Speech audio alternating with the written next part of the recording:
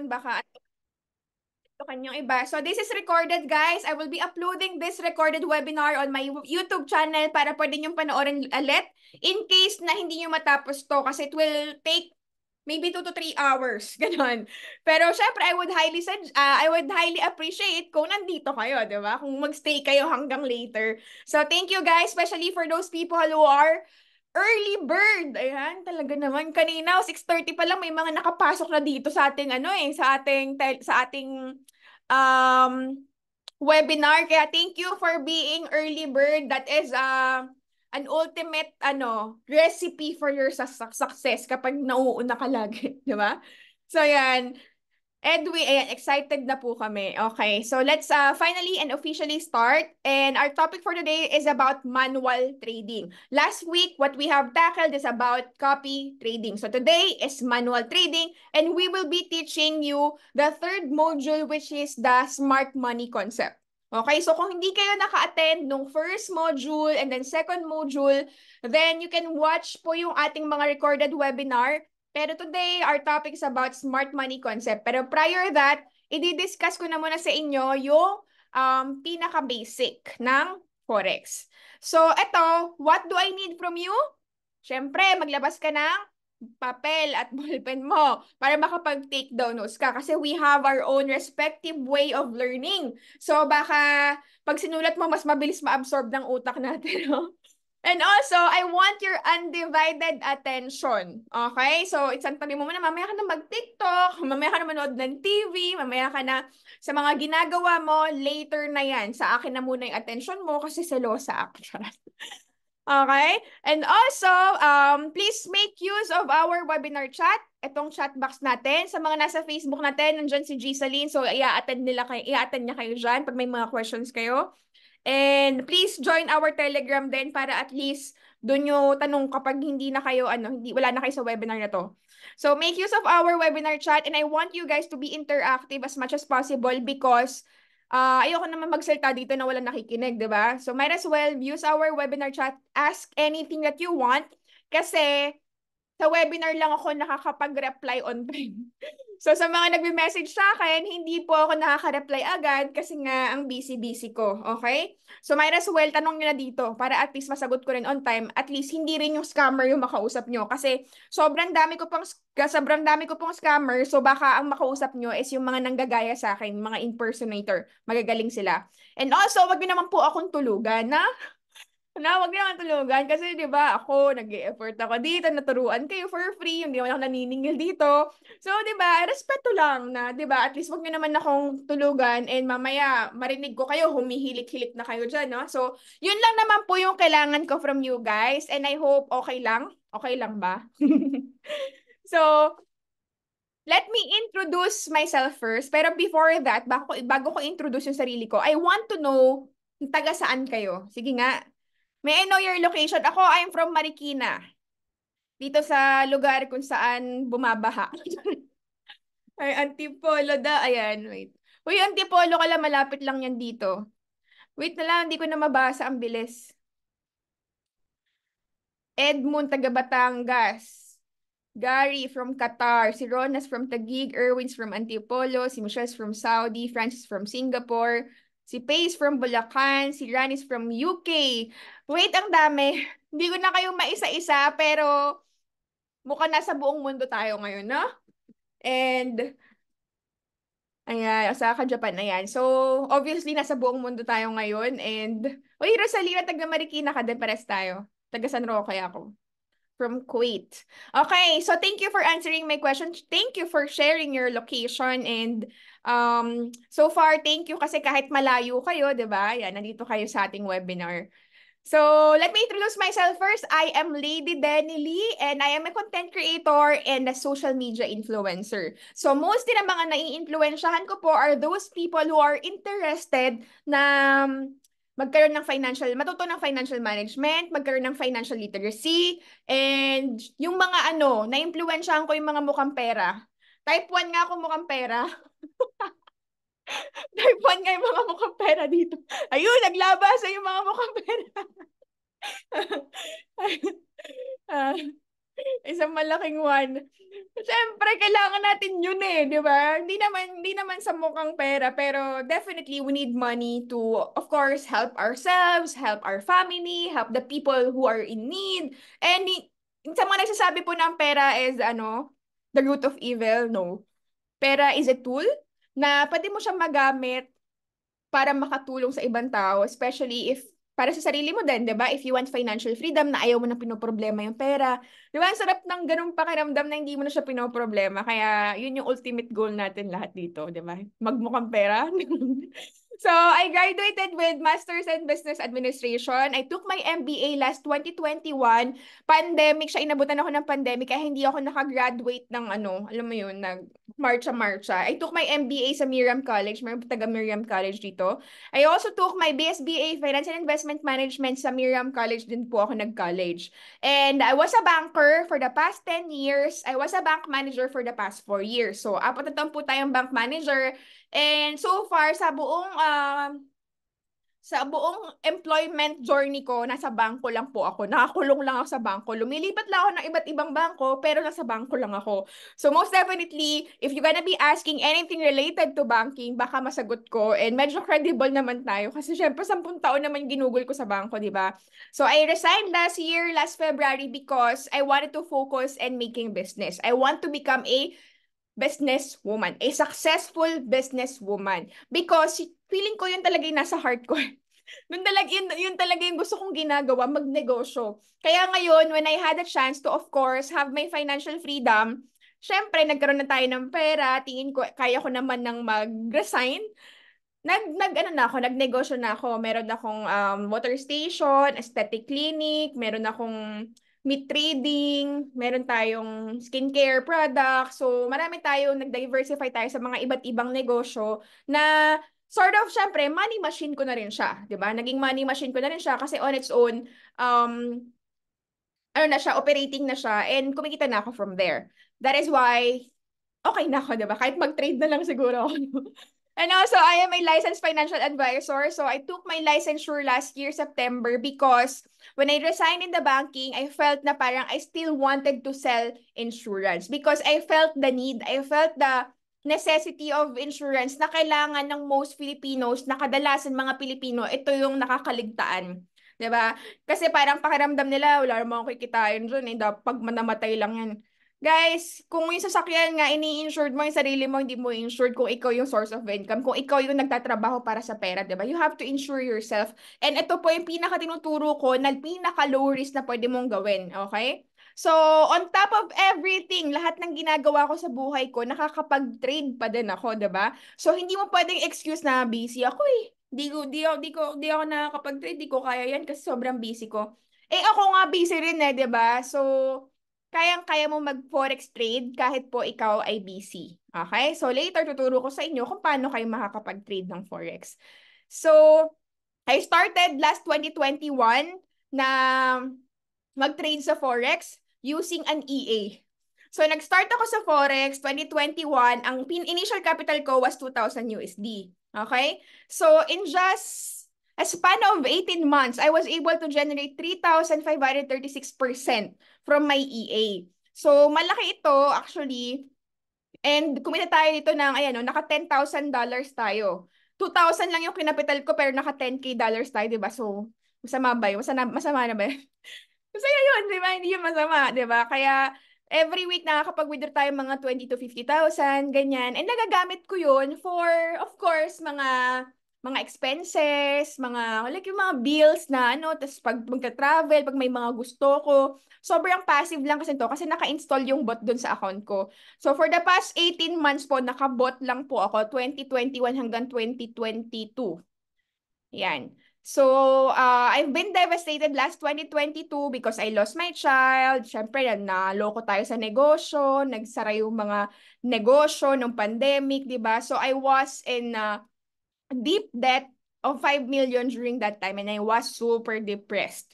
Pero, uh, 2022, ayan, I was able to generate, ayan, almost 12 million, diba? So, Possible. Possible talaga. Kaya nga ako na para sa sa bangko eh. Siyempre, hindi ko naman kikitain yung 12 million.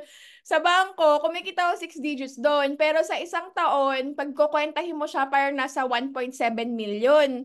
So, meaning, ilang taon ko bubunuin yung 12 million ito. Dito, pero dito sa, sa Forex, kinita ko lang siya in just 4 months. diba? So, let me share to you, with you, how I did it. Okay? Meron ba dito may experience sa Forex? Can you type 1 if meron ka na experience sa Forex? Type 1 if you have an experience in Forex.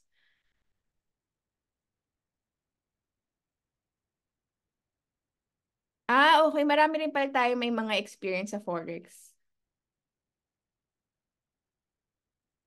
How about mga beginners? Can you type 2? Kung may mga beginners tayo dito, yung totally zero knowledge. Mas marami ang mga beginners. So most of you are mga ano no? Ang dami, ang daming beginners, okay? So, mag adjust po tayong mga marunong na sa trading kasi syempre, uh, para at least mas maintindihan din nila, 'di ba? Para at least we are speaking the same language. 'Di ba?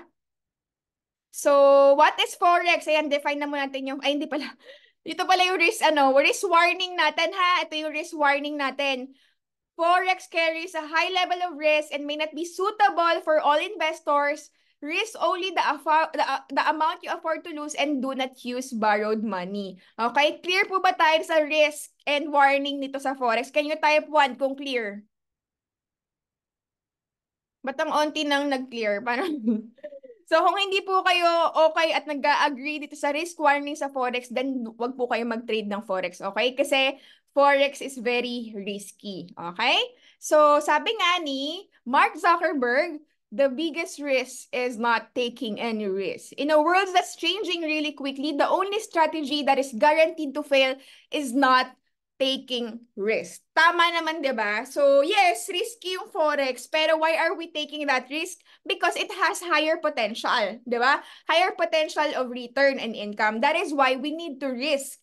Because kung hindi ka magre-risk and masyado ka lang ano, hindi ko kaya mag-risk, parang ano, mamatay ako, ganun, hindi ko kaya, parang okay na ako dito, pag masyado ka ng kontento, then definitely you will never achieve your financial freedom because you cannot risk. So sabi nga ni Mark Zuckerberg, mag-risk ka daw. Pero syempre, yung kayang amount mo lang, yung afford mo lang.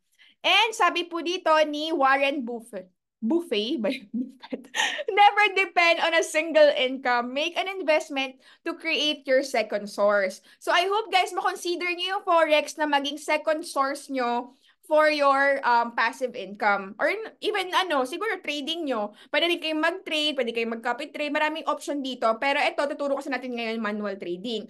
And itong magiging second source nyo is yung Forex, which is for me, ako, personally, maganda yung experience ko sa Forex because, syempre, ang kinikita natin dito, malaki. Pero, just to, to, just to tell you, malaki din po yung nire-risk ko dito, okay?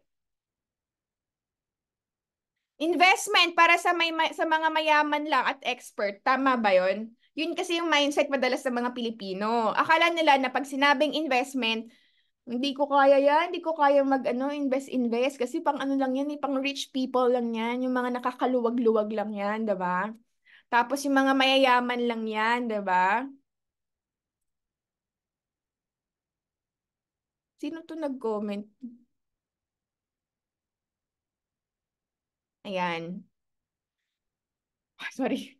Para sa mayayaman at expert lang yan. So, hindi po. Ngayon, since nasa digital world na po tayo and the information is readily available anywhere, then most definitely, kayang-kaya na po nating aralin yan. That is why ito po yung ginagawa ko ngayon. Ginawa ko na siyang advocacy ko to teach you on how to be financially free and of course achieve your financial freedom. So what is Forex? Forex po is foreign currency exchange. Hindi po scam. Kasi yung iba pag sabing Forex scam, Forex scam. Hindi po. Ang Forex po is foreign currency exchange, okay? You are changing one currency to another currency, then that's Forex. Pag nagpalit kayo nung pag nagpa, nagpunta ka ng ibang bansa na masyal ka sa Thailand, syempre, di ba, bibili ka ng, ng currency nila doon, papapalit ka ng peso. So, yun, Forex na po ang tawag doon. So, ang Forex po is a legit business, okay? I-treat natin ang Forex as business. Bakit? Ang Forex po kasi, online naman yan. So, digital po yan. Kahit saan, anywhere, anytime, pwede po kayong gumamit or mag-trade ng Forex, okay? It's also 24-5, okay? Ang market po ng Forex is open from Mondays to Fridays kung gusto niyo mag-trade. Pwede namang weekend, pero mag-Bitcoin kayo or mag, ano, mag-crypto kayo, okay? Pero with Forex, Mondays to Fridays open yung market. And ang Forex po is much, much, much bigger than stocks. Wala pa po sa kalingkingan. Okay?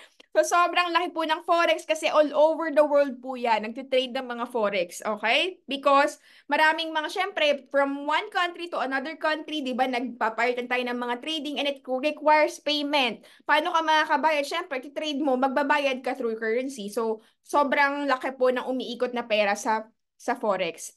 And here in Forex, you can make money even on crisis, even pandemic, 'di ba? Kasi dito, hindi naman naaapektuhan yung maaapektuhan yung presyo, pero regardless tumaas, bumaba yung presyo, pwede ka mag-trade, eh, pwede ka kumita, 'di ba? Not unlike with stocks, kapag bumaba yung presyo, sorry, you have to wait until the price appreciates. Pero with Forex, kahit bumagsak ang presyo, you can still trade.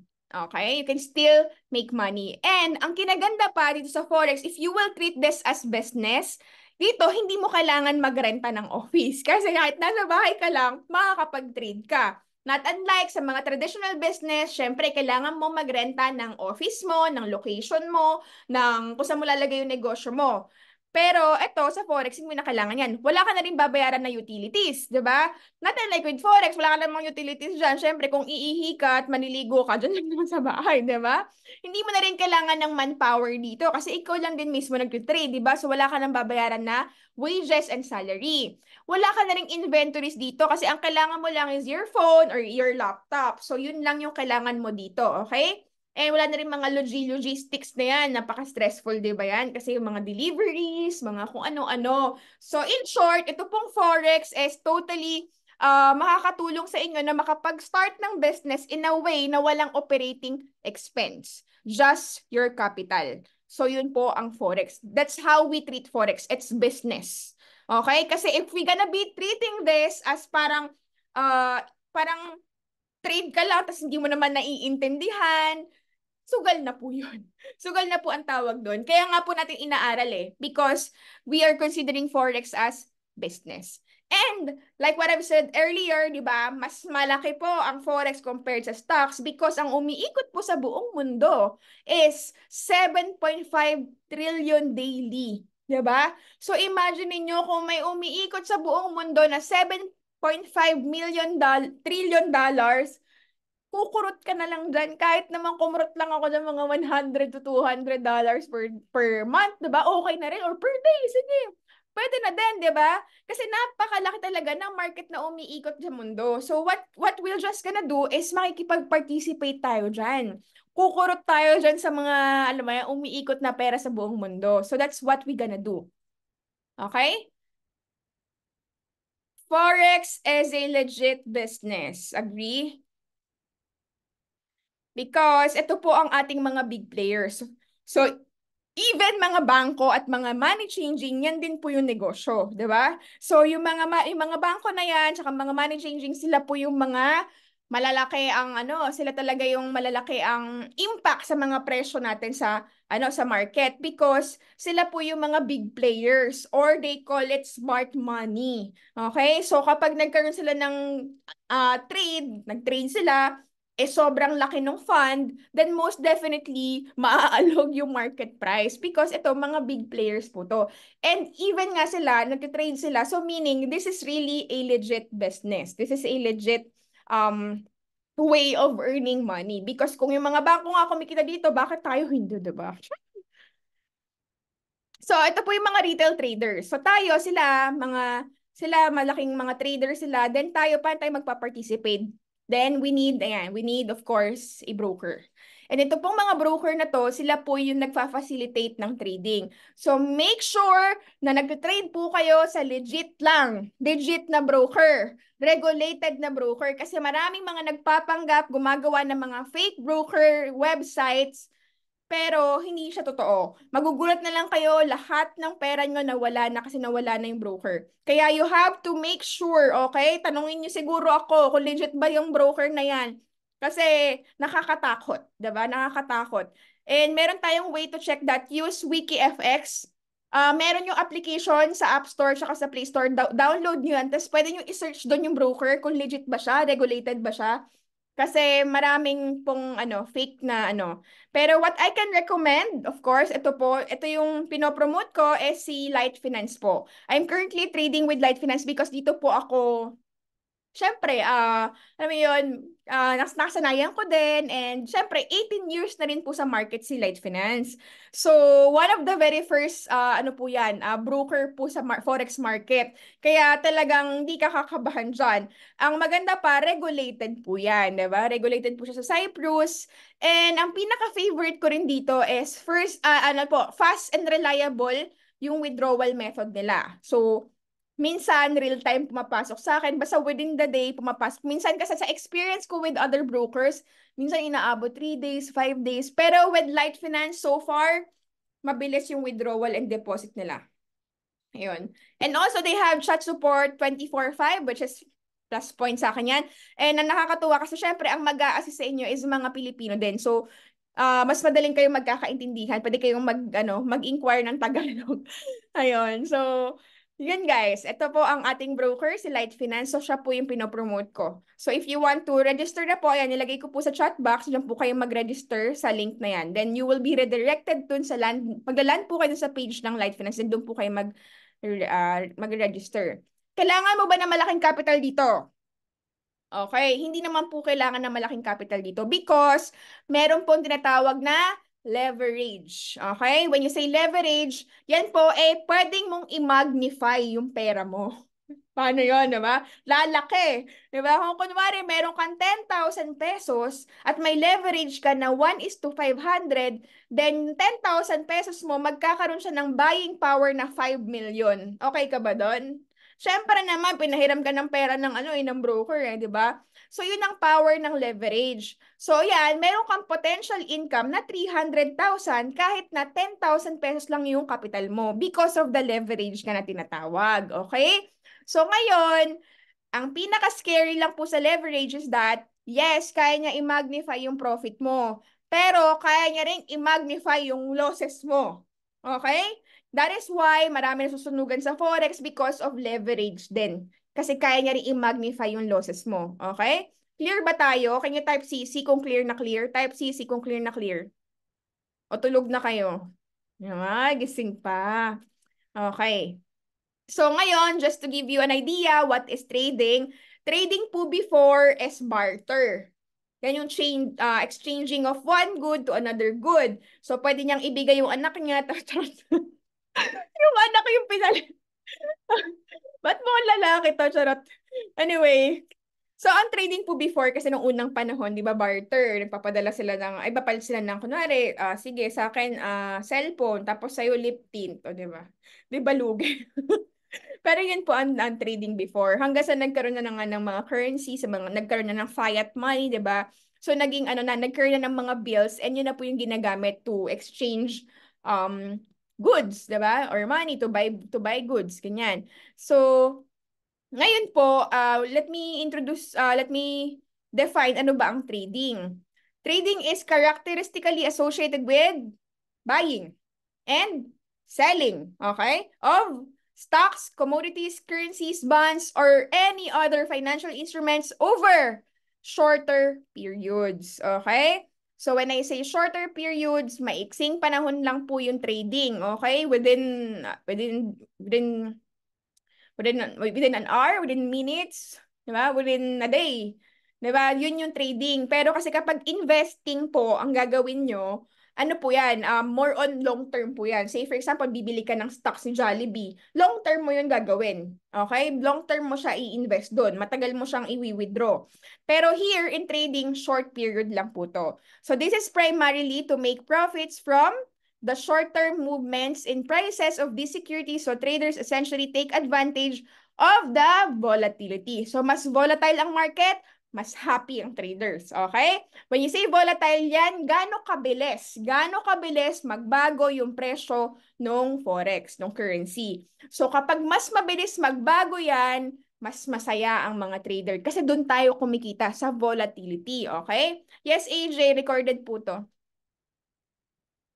So just to give you a scenario, for the sake dun sa mga beginners natin, since marami tayong mga beginners, for our first scenario na posibleng ma-experience nyo dito sa trading. Okay?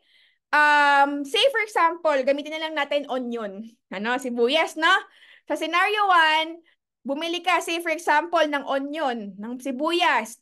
Worth 250 pesos per kilo po yung bili mo. So ngayon, nangapital ka ng 1,250 pesos. Kasi 5 kilos times 250, that's 1,250 pesos. Ngayon, tumaas yung presyo ng onion kasi may nag-hoard na mga ano, may mga hoarder, charot. Pero tumaas yung presyo ng onion kasi umonti yung supply, tas tumaas yung demand.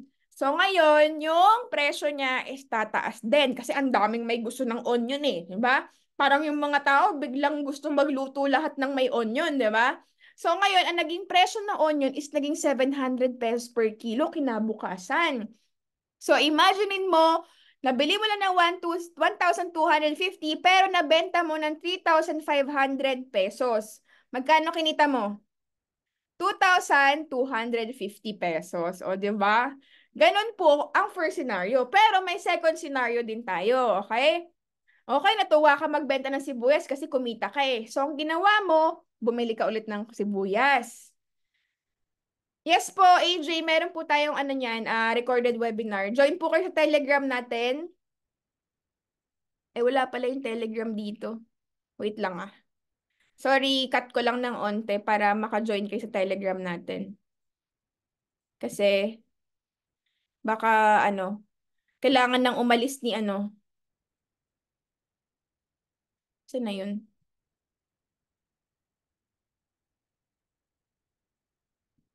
Wait lang guys ah. Ano ba yun? Nawala na. Asan ba si Gisa? Gisa, andyan ka ba? Pakisend sa kanya yung ano, Telegram link. Hindi ko mahanap eh. Ayan. Anyway, papasend ko na lang kay Gisa Lin. Kasi hindi ko mahanap po yung ano,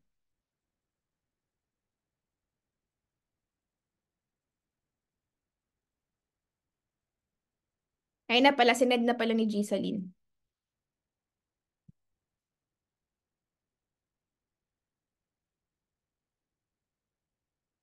Okay.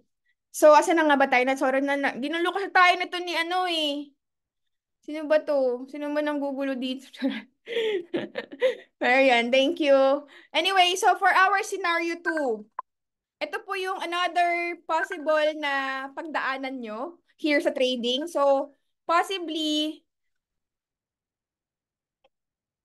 possibly, nag-enjoy ka. So, ang ginawa mo, bumili ka ulit ng onion, di ba? Kasi parang, wala ang laki ng kitaan sa onion. Ayan. So, bumili ka ulit ng onion.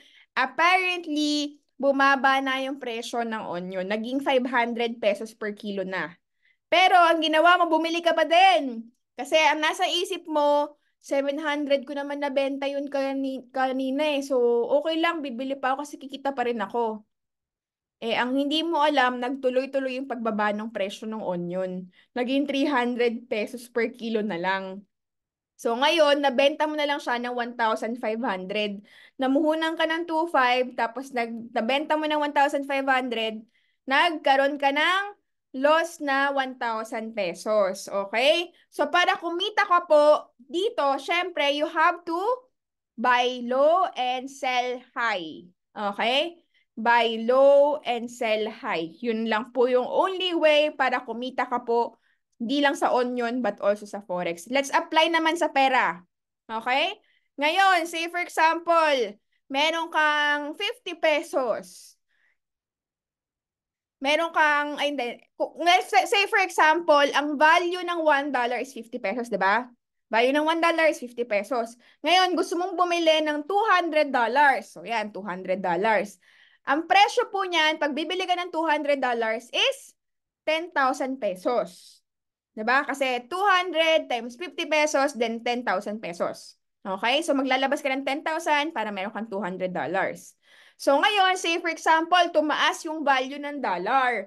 Kunwari, uh, nagkaroon ng news na oh, gumanda yung ano natin, ang uh, economy ng US. So tumaas yung value ng dollar, nag-appreciate siya kasi mas nag mas naging naglakampante yung mga investor doon kasi syempre mas okay na yung ekonomiya. So ngayon, since tumaas yung value ng dollar, mas nagmahal siya. So kanina, 50 pesos lang, ngayon 55 pesos na siya. Diba? So ngayon, kung kanina, di ba may $200 ka, mabibenta mo siya ng 11,000 pesos. Tama? So ngayon, kung kanina 10,000 siya, ngayon nabenta mo ng 11,000, magkano ang kinita mo? Paki-compute nga. Kaya ba ng mental math to? Kaya ba ng mental math? Paki ano nga? Grabe, ang tatalino naman, oh. Si Michael lang nangunguna. Michael, misa lang. At dahil dyan, meron kang tumataging-ting na 1,000 pesos. Napalakpak. ano yan? Ayan. Thank you, thank you for answering the question.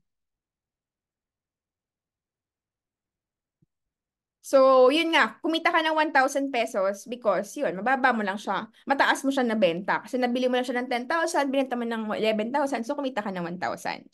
So, dito naman itatakal natin, ano ba yung mga risks sa Forex? So, ito napaka-importante nito because kailangan ko pong ituro sa inyo na bago nyo po pasukin ng Forex, kailangan na iintindihan nyo yung mga risk involved dito. So, kung nakikita nyo yung mga pinopost namin, yung mga nagpo-post dyan, na mga, oy, ang laki ng kita na ganito, yumaman si ganyan, gabi nakabili ng ganito si ganyan i meron po silang mga tinake na risk bago sila kumita ng ganong kalaki. Okay? And ito po yung mga risk na yon.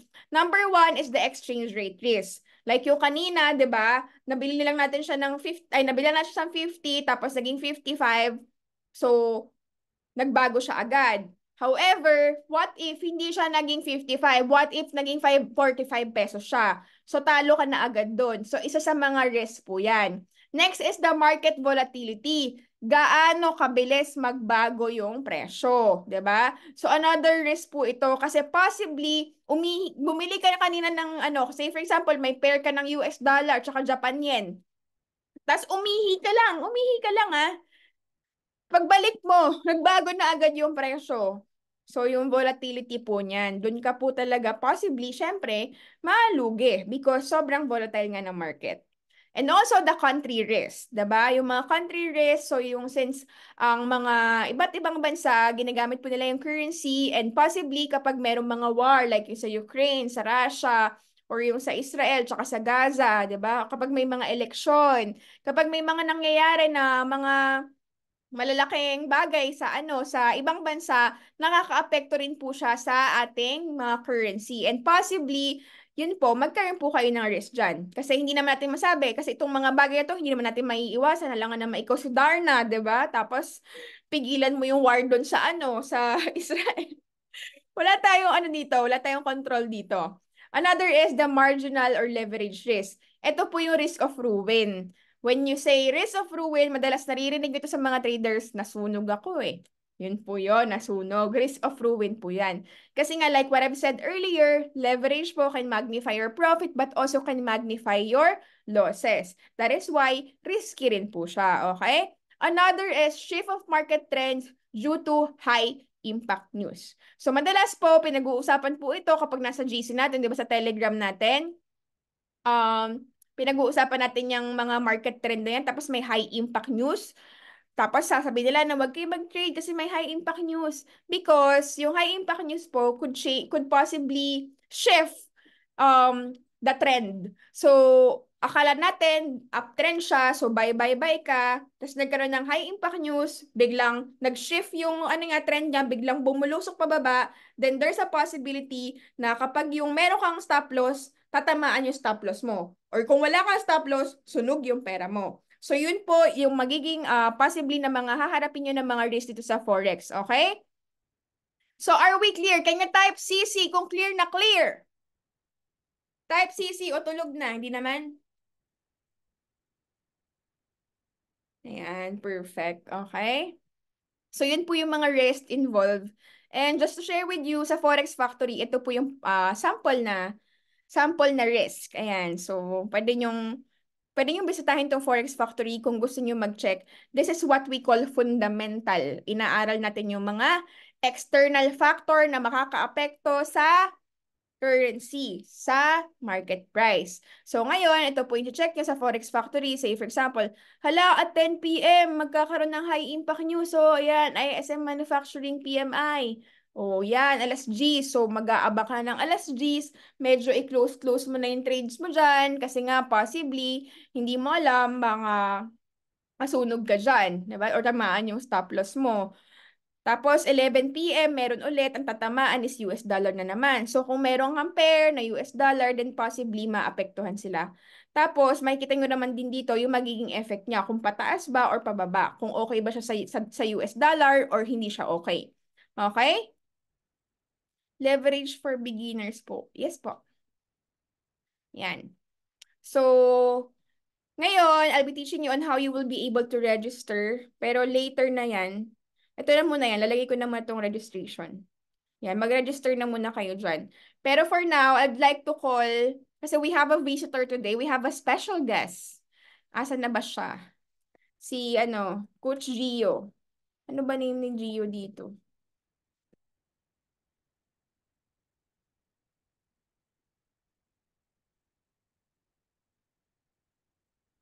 Ayan. Ayan. So, yan. Let me just, uh, later tayo, like later si Coach Alex po yung mag-join for our uh, manual trading. Pero ngayon, uh, since uh, meron akong introduce lang sa inyo wherein uh, makakatulong sa inyo sa trading journey nyo, na I just recently joined dito and sobrang grabe. Ang ganda ng platform nila. Sobrang makakatulong sa trading journey nyo. And I hope, guys, ma-consider nyo po to. So, introduce lang sa inyo saglit ni Coach Gio. Wait lang, Coach Gio. Ia-add lang kita dito. Ayan. Hi, Ayan. Gio. Hello, Ayan. hello. Good evening. So let's all welcome Gio Victorino. Ayan. So guys, uh, si Gio is a very, very profitable. Yes. Very profitable in trading. Coach ko yan nun. Dami palang fun dito eh. so yan, uh, ngayon, i, uh, ano, i-introduce lang din sa inyo guys quickly yung about sa economy. Si economy is a signal and bot provider. So, napakaganda po opportunity nito if gusto niyo talaga seryosohin yung trading journey niyo. So, uh, let me give you the floor, ano, uh, Gio, so you can start na. And thank you for that introduction, Ma'am Lady. So, thank you very much sa opportunity na to na nakapag uh, na-invite ako. Ayan. And uh, And para matulungan din yung karamihan about Forex. No? So, I just want to share about myself uh, briefly lang. So, before pala ako naging uh, Forex trader, uh, dati po akong seafarer. So, mayroon po ba dito type 1 or let's say uh, may mga seafarer or OFW po ba? So, yan. So bakit ko ba pinili yung pagiging uh, seaman? So kagaya na sinabi ni Ma'am Lainey, no? Uh, mukhang pera. Yan. Kasi akala ko dyan talaga kikita ng malaki. Kasi dollars gusto ko kumita ng ganyan eh. So yun nga lang, hindi ako nagtagal sa profession na yun. Uh, isang contract lang. So bakit ako nag ano, na shift in into entrepreneurship? Kasi na found out ko na parang uh, wala naman talaga seaman na yumaman unless they own a business. Tapos ang income ng seaman, active, no work, no pay. So lalo na marami akong makakilala na mga seafarer or classmates ko din na ang tagal ng bakasyon. Minsan, 3 months, 4 months, nauubos talaga yung inipon and then ganun ulit, cycle ulit yung nangyayari.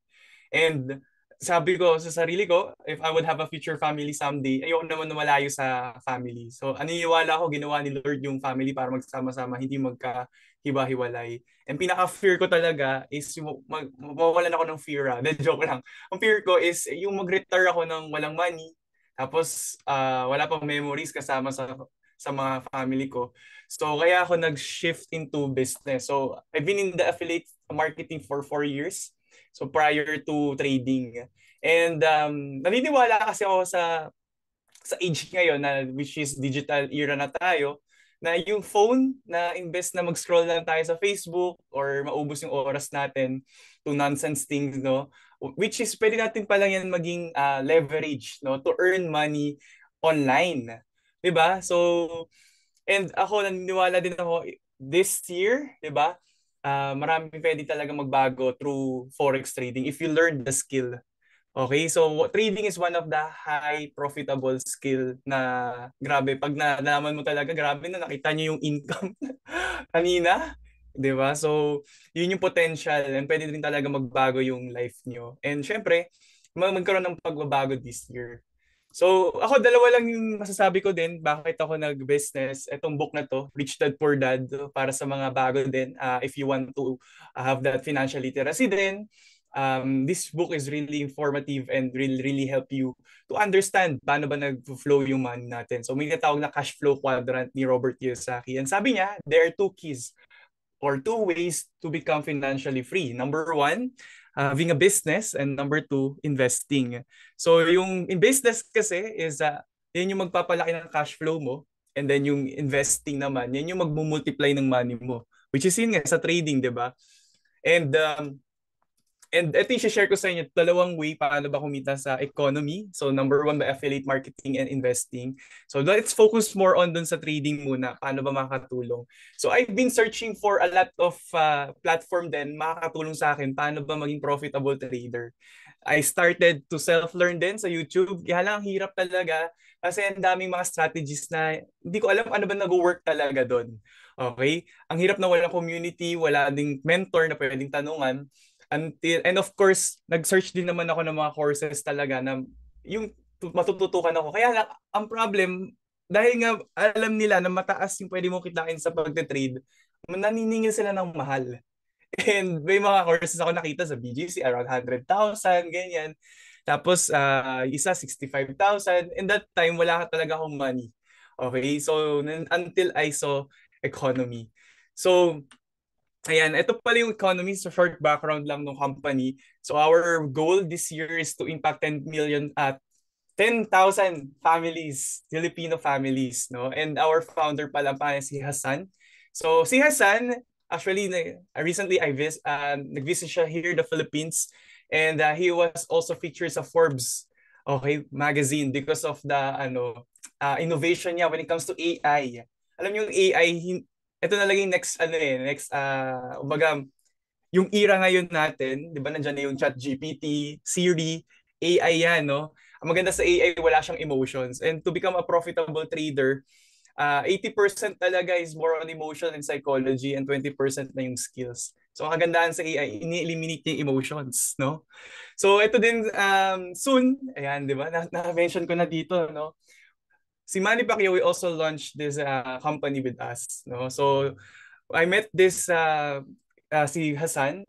Sobrang grabe yung success niya din and talagang yung heart niya hindi lang da, hindi lang profits pero more on helping people talaga na ma-understand ano ba yung forex. Kasi lumaki din siya ng sa ano mahirap na country. So taga Palestine siya di ba? So doon yung gera right? So growing up uh, kita niya talaga na um sobrang hirap ng life and then ang nagpabago sa kanya is just a single information. And naniniwala ako tonight, information can change your situation. So pakinggan nyo lang to, ang share ko sa inyo and maggustuhan nyo, pwede nating pagtulungan. So nag-start yung company sa US, so started 2021 and ano ba yung mga services na meron kami? Number one, we have the ECA. So, kagaya nung nasabi ko kanina, marami akong mga nakita din sa YouTube talaga. Hindi ko alam ano yung strategy na susundan.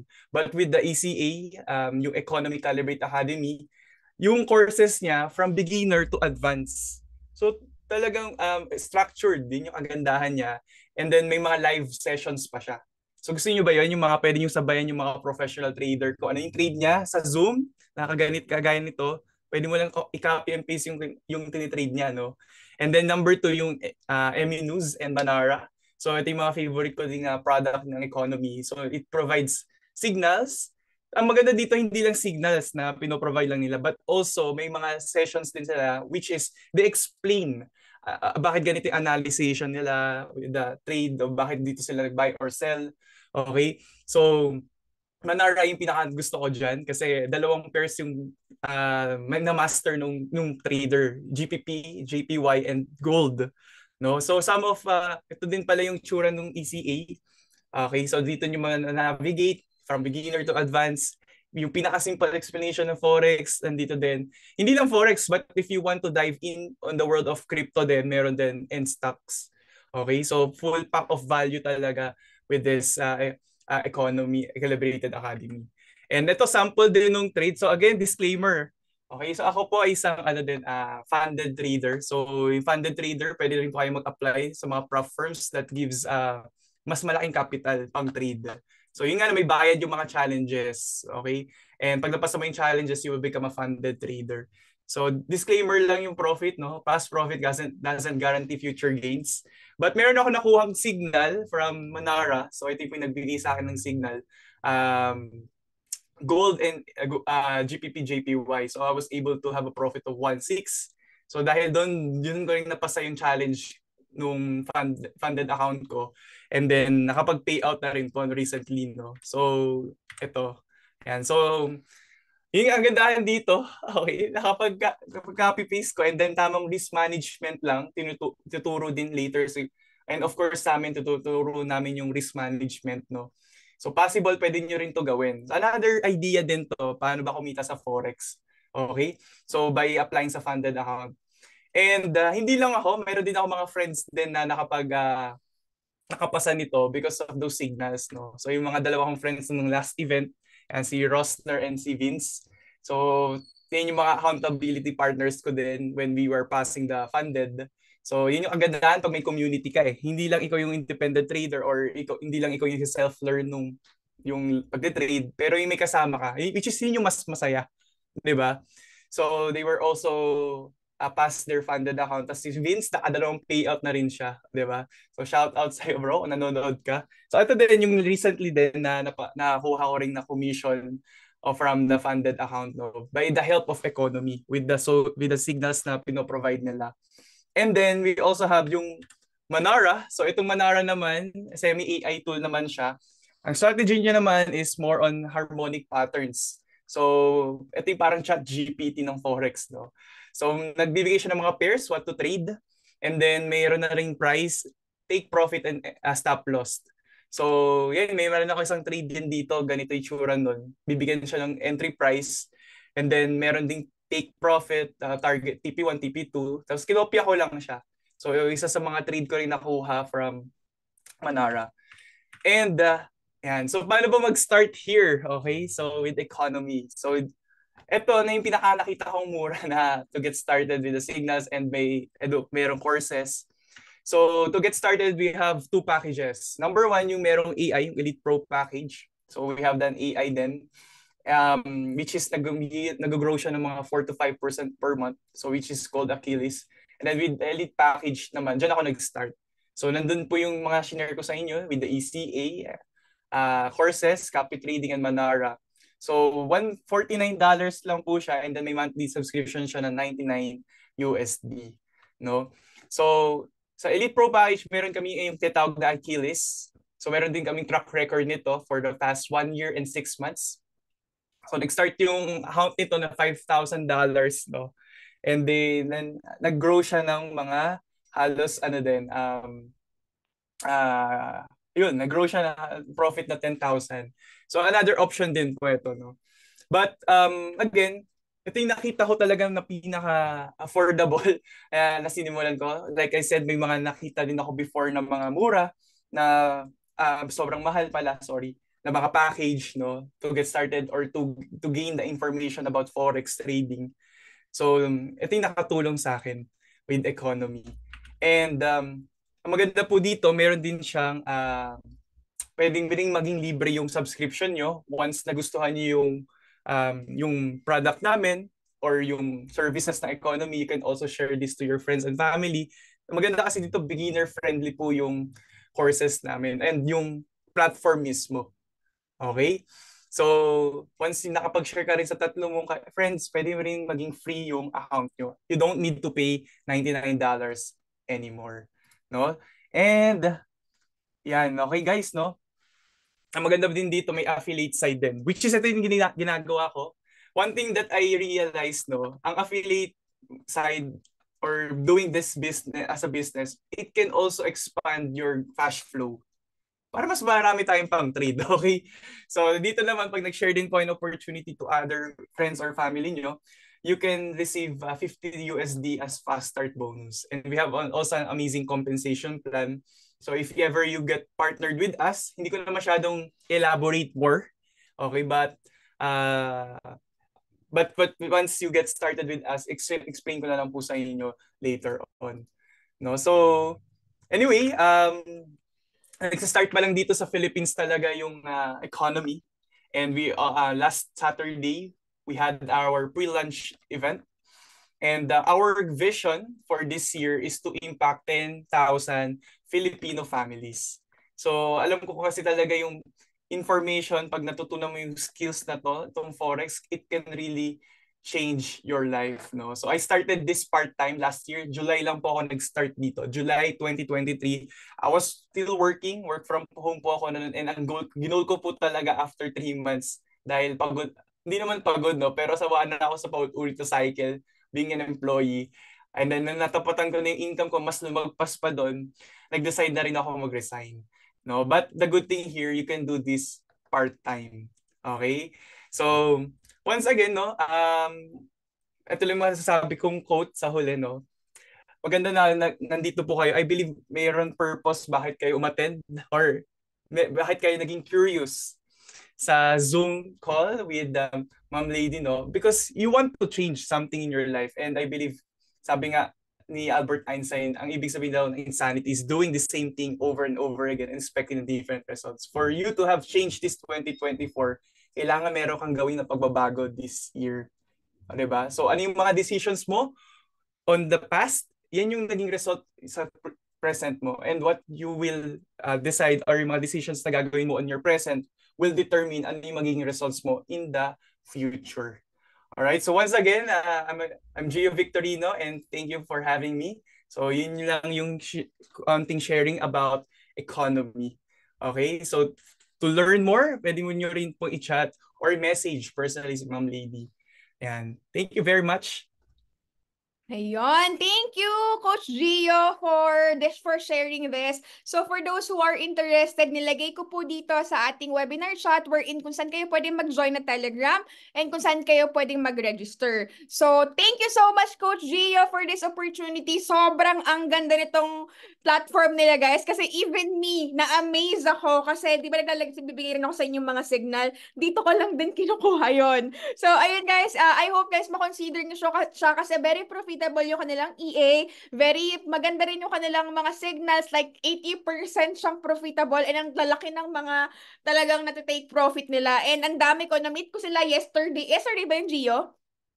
Yes, yes. Oh, yesterday ko sila na-meet and mga bata, mga profitable. Kaya 'di ba yung generation, yung mga young generation ngayon, they're already adapting to the digital world. So I hope guys, wag kayong magpahuli kasi sayang eh, 'di ba? Magandang opportunity sa inyo 'to. Kaya maraming salamat Coach Rio. Ayan. So right now naman for our next topic is of course, syempre, yung pinaka-goal natin ngayon is maturuan kayo ng manual trading. So this is our third module na guys and I hope guys magstay din kayo and makapag-register na muna kayo sa ating uh, pasend ako G sa nung ano natin nung nung registration link for Light Finance para makapag-open po kayo ng account with Light Finance para finally maggawa nyo yung ituturo sa inyo ng susunod natin na speaker, okay? So right now I'd like to welcome our uh, guest speaker din si Coach Alex. Saan na ba si Coach Alex? Alex Agbisit. So siya po yung tuturo ng ating mga manual trading. Ayan. Para at least, mas matulungan din yung, ano nyo, syempre, yung journey nyo sa trading nyo. So, Coach Alex, are you there? Ayan, i-add kita as host. Ayan. Hi, Coach Alex! Ayan, uh, ayun. Okay, so yung uh, video ata. Uh, merong... Uh, na ano naman na kita? Na, na-host na kita. Ayaw?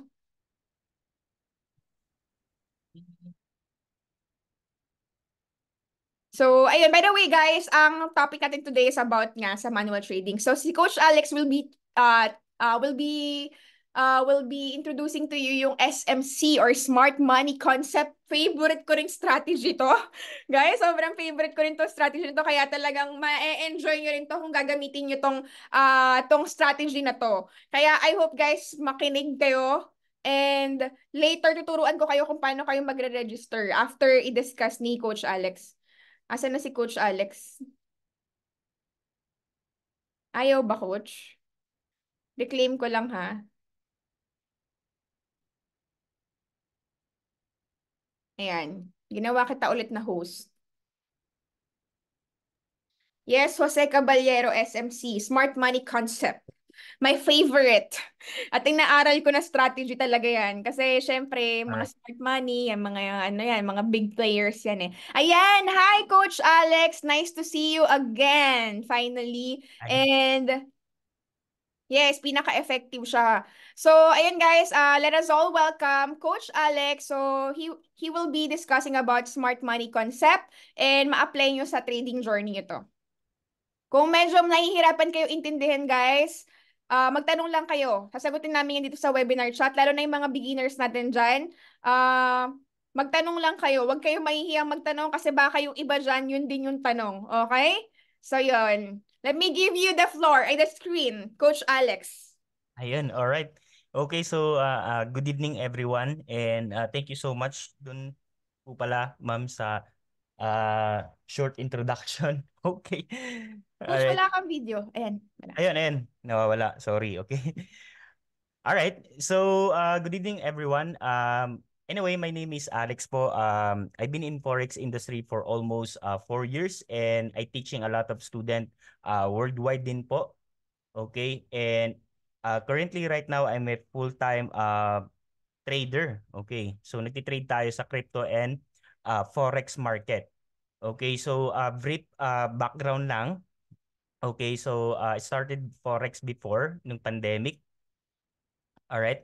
And um ayun, so pinag-aralan natin siya. Uh, empleyado tayo dati. All right.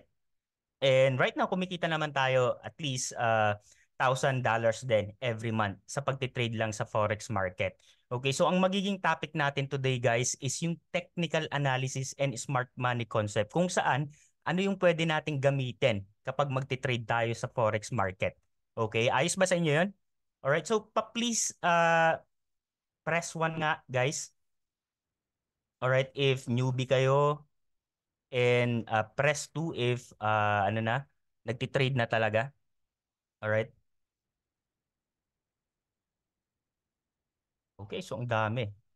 So may 1 2 1 2. All right. Okay yan. All right. So i-share ko lang yung screen ko guys para mas makita nyo. Okay? And uh, of course, pwede nyo rin akong i-follow dito sa uh, sa aking official uh, Facebook account. And meron din tayong Telegram group kung saan uh, nagbibigay ako ng free learnings. Okay, mga module. And of course, yung YouTube natin, nakaka-open pa lang. So, uh, lagay ko siya dito. Baka sakaling mapa, uh, mapadaan tayo. Alright. Okay. Ayun. Okay, so YouTube and uh, personal FB account. So baka baka kasi uh, mahanap niyo yung mga scammer na ano, uh, scammer na account natin. Okay, may mga gumagaya ng account natin. Alright, and sa YouTube dito in-upload ko na lahat ng um, basic forex trading, uh, trading psychologies, yung mga gagamit natin kapag magma-manual trade tayo. So dalawang klase to guys, okay? So we have a, a manual trading, ibig sabihin is tayo nagde-trade ng pera natin or yung capital natin sa forex trading. And of course, we have EA or yung automated trading, yung robot yung nagde-trade para sa atin. Okay, so dalawa po yan. So uh, actually guys, kapag nagka-copy trade kayo, napapansin nyo na kumikita tayo, di ba? Using our platform which is like finance. Okay? Kapag nagka-copy trade tayo, uh, kumikita tayo, di ba? So ibig sabihin, yung mga yon is uh, profitable sila. Okay? Tayo, ang goal natin as a, a manual trader or to become a professional trader is uh, ma-adapt natin or ma-apply din natin siya sa trade natin. So today guys, ituturo ko sa inyo yung mga strategy na pwede nating gamitin. Okay ba sa inyo yan? All right, so almost 148. Okay. All right. Okay. Okay. All right. So, uh, to begin with, uh, kung hindi nyo pa napanood yung mga uh, previous video natin dun sa YouTube, uh, you can search dun sa YouTube, uh, YouTube ni Ma'am uh, Lady Lynn. Okay? Uh, yung mga diniscuss natin about uh, basic forex pips, uh, leverage, etc. etc. And yung mga strategy na din. All right? So, pwede nyo pong balikan po yun guys. Okay? But for today, uh, magpo-focus po tayo sa technical analysis and smart money concept which is the price action na tinatawag kapag magte-trade tayo sa forex. All right? Okay. So, uh, to begin with, okay? So, forex technical analysis and smart money concept. So, uh, forex market technician tayo and uh, nag-handle tayo ng mga malalaking account. Okay? Uh, kumikita rin kumikita rin tayo dito kahit nasa bahay lang. Yun yung kinaganda as a trader. Alright? So wala tayong pinapasahod. Tayo lang, effort lang natin. Of course, yung skill natin. Yan yung pinaka number one. And yan din yung tinuturo ko sa mga student ko. Alright? Yung tinatawag nating trading system para mas madali siyang mas maintindihan. Alright? Okay. So, uh, for technical analysis, guys, okay, kapag nagti-trade tayo, you can uh, use the MP4 or MP5. Okay? You can download dun sa App Store or dun sa website natin, guys. Okay? Which is ito. So kung makikita nyo, guys, paano tayo nagti-trade? Okay? Uh, we are using Light Finance. Dito. Okay? So yan yung platform natin which is we can uh, trade here, buy or sell, mag-execute ng buy or sell natin. Okay, so kung clinic ko yung buy, makakapag-buy tayo. Kung clinic ko yung sell, sa tingin natin is babagsak yung price ng trade nating currency pairs. Okay, doon tayo nagkaka-profit guys. Okay, so take note, tayo nag-execute ng trade natin. Okay, yun yung kinaganda. Alright, ang kailangan lang natin is timing strategy, uh, risk and money management kapag manual trading. Kailangan lang natin mag-focus sa knowledge. All right. Okay. Okay, so going back here. So, uh, I'm Alex. Okay, uh, four years in the market. Uh, earning, uh, earning siya. Earning naman. Okay, and a, a fund manager. Okay. So, uh, for today guys, uh, ano nga ba yung technical analysis? Kadalasan kasi guys, naririnig nyo yan. Okay? Uh, naririnig nyo yan sa mga nagtitrade, ano nga ba yung technical analysis, ano ba yung fundamental analysis, ano nga ba yung sentiments, 'di ba? Kasi tatlong klase yan, guys. All right? But for technical analysis, para tayong technician, okay, ine-identify natin kung saan papunta yung price na iti-trade natin. Okay? So let's say ang iti-trade natin for today is Euro USD. Okay? So ibig sabihin, Euro versus dollars. Okay? So, euro versus dollars. Ayun, wala yung mic. Uh, euro versus dollars. Ibig sabihin, kapag umangat ang price ng euro, is pumagsak naman yung dollars. Vice versa yun, guys. Okay, ano nga ba yung gagamitin nating strategy? Ano nga ba yung technical analysis natin? Kasi technician tayo, di ba? Tayo nagdi-trade, tayo yung manual trader. Okay? So, ang gagamitin natin uh, for today is yung mga strategy na ginagamit din natin sa pagde-trade. Okay? So, kung paano talaga kumita consistent, and profitable. Alright? Ayos ba yun sa inyo? So, identify na natin what is technical analysis. So, technical analysis is a security analysis discipline for forecasting, okay, the future direction of the price. Ibig sabihin is predict natin kung saan papunta yung price. Okay? Para magka-profit tayo. Alright? So, ganun po siya. So, para tayong technician, inaayos natin, nag-identify tayo ng mga confluences natin. Okay?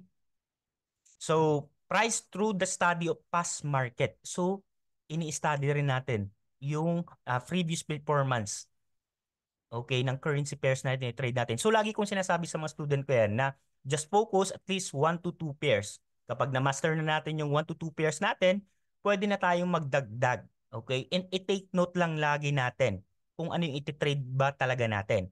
wag yung dinadamihan natin yung uh, currency pairs na pwede nating i-trade. Kasi probably, ang mangyayari, magda-direct to the point na tayo, alright? Ang mangyayari dyan is masusunog tayo or maglolos tayo or masasayang lang yung perang din-deposit natin. Okay? So, ganun yun guys. So, at least focus 1 to 2 pairs. Okay? Yun yung pinakakailangan natin. And, i-analyze natin bago tayo mag-trade. Hindi yung basta pumipindot tayo ng buy or sell. So, alam ng mga manual trader yan. Alright? So, ganun siya guys. Okay? Alright. So, uh, next is uh, technical analysis. Alam na natin, we are just a technician. Technician tayo para identify yung price. And of course, uh, ano nga ba yung different kind of chart that we can use as a manual trader? Of course, we have a line chart, bar chart, and candlestick. So ipapakita ko sa inyo yan. Okay? So kailangan nyo lang is mag-download ng ating uh, platform which is the MT4 or MT5 kung saan kayo mas uh, komportable. Okay? Ganito yung magiging itsura niya guys. Alright? So saan natin mahanap yon Dito sa pinakataas. Okay? So we have here the candle, the uh, chart, Okay? And yung bar. Okay? So kung hindi nyo pa napanood yung previous uh, session na, natin, which is the MT4 navigation, paano i-navigate tong MT4, so mahanap nyo po yan dun sa uh, YouTube natin. Okay? So kung babaguhin natin dito guys, ito, ayan siya. Nangyari na. Naging chart, naging candlestick, alright, naging bar chart siya. So pwede mong baguhin. So most commonly mga manual trader ang ginagamit nila is a candlestick. Okay? So ano nga ba yung trade natin for today is AUD USD. Okay? So ito live trading to guys ha. Okay? So ang gagawin lang natin is buy or sell dito sa taas. Buy or sell. So execute natin. So once we click buy, sa tingin natin akit yung price, magkaka-profit tayo. Alright? If sa tingin natin, pabagsak yung price na trade natin, magsasell tayo. Okay? So, dalawang button lang naman yan, guys. Alright? Okay. So, um, going back here, line chart, bar chart, and candlestick. But most commonly, ang ginagamit ng mga trader or mga manual trader is a candlestick. Okay? Alright. So, ganyan yung itsura ng line chart. Okay? So line lang siya. Kung saan papunta yung price na tinitrade natin. So paangat siya. Ibig sabihin, kung pangat yung price is magbabay tayo. If sa tingin na, if sa ang price sa line chart is pabagsak, magsasell tayo. So ganun lang. Alright? Vice versa para magkaroon tayo ng profit. Alright? So bar chart. Okay, ibig sabihin kapag uh, bar chart, sa candle is nag-umpisa sa sa high. Okay, low and high and close. So kung napapansin nyo. Alright. And next is yung candlestick. Okay?